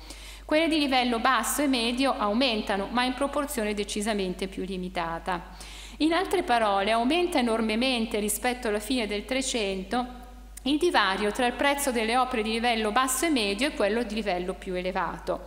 Mi ha colpito perché in qualche modo mi ha richiamato alla mente i lavori di Guido Alfani sulla disuguaglianza economica, sulle quali bisognerebbe discutere, forse servirebbe un'intera giornata su questo, nel secolo ehm, che appunto osserva come la, nel secolo tra la peste e il 1450 la disuguaglianza economica diminuisce anche considerevolmente, ma poi riprende ad aumentare a partire dal 1450. E allora mi pare, ma la pongo davvero come ipotesi per la discussione in conclusione, che ci, ci, troviamo di fronte a una fine 300 nella quale aumenta la platea di persone che ambiscono e possono permettersi qualche divagazione in senso lato artistica, insieme ad altri consumi voluttuari anche nell'ambito dell'alimentazione de o della moda, un altro settore indubbiamente in crescita in questa fase. Anche i veri e propri ricchi avranno speso di più, diciamo, ma non siamo ancora di fronte alla vera e propria esplosione della spesa dell'elite per la costruzione di palazzi lussuosissimi, l'acquisto di opere d'arte, arredi preziosi, gioielli e abiti di gran lusso. La distanza tra i consumi delle elite e quelli di un ampio e indefinito ceto medio con qualche capacità di spesa esiste ovviamente, ma sembra decisamente meno accentuata che in seguito che dalla seconda metà del 400 in poi. Ci sarebbe da ragionare a lungo sulle cause economiche, sociali e anche politiche di tutto questo. È assai probabile tuttavia che ciò abbia avuto conseguenze importanti anche sul mercato delle produzioni artistiche e anche, e su questo esiste in effetti una bibliografia ampia, sullo status dell'artista e che quindi le considerazioni che ho fatto siano molto meno applicabili diciamo, per il periodo successivo al 1450, ma mi è sembrato che comunque appunto potessero fornire forse qualche stimolo su un tema più ampio poi alla fine, che è quello dei cambiamenti economici e sociali del tardo medioevo. Ho finito. Grazie anche ad Alma Poloni per questa altrettanto molto bella relazione eh, che ci ha fornito un quadro eh, in cui ho, ho, colto da non competente su questa materia, ma insomma da un po' da vecchio frequentatore di storia fiorentina, ehm, con piena consonanza, cioè un, una fase che è quella che hai indagato tu, insomma tra la fine del 300 e i primi decenni del 400, in cui emerge questo, questo ceto medio come consumatore e allo stesso tempo eh, elemento che, che, che, amplia anche questo spazio all'interno del, dell'artigianato verso queste produzioni artistiche che è molto chiaro, molto convincente insomma. E forse dà anche una risposta eh, possibile proprio la comparazione che hai fatto con eh, le città fiamminghe ha eh, questa eccezionalità al solito che fa parte della grande narrazione italiana, del rinascimento delle città, eccetera, insomma qui c'è un possibile campo di comparazione molto, molto forte, insomma, sono, sono città che appaiono attraversate dai medesimi fenomeni. E in conclusione hai posto anche questa questione importante della fase successiva in cui invece sembra dilatarsi lo spazio, lo iato, no? e questo corrisponde poi anche ad assetti sociali, ad assetti politici molto più evidenti, proprio di una, di una riduzione di spazio per i gruppi, per il ceto medio e per i, gruppi, per i gruppi sociali che non appartengono appunto al patriziato. Quindi veramente grazie anche di questi, di questi elementi. Eh, abbiamo l'appuntamento per per l'una, quindi non abbiamo in questo momento spazio per una discussione, ma eh, non mancheranno naturalmente proprio nella fase conviviale a cui siamo, credo, no? eh, tutti invitati. Eh, Pepe Nero, chi non sa dov'è ci segue, ci ritroviamo qui alle ore 15, possibilmente in modo puntuale, in modo da dare spazio anche alle altre relazioni. Grazie e a più tardi.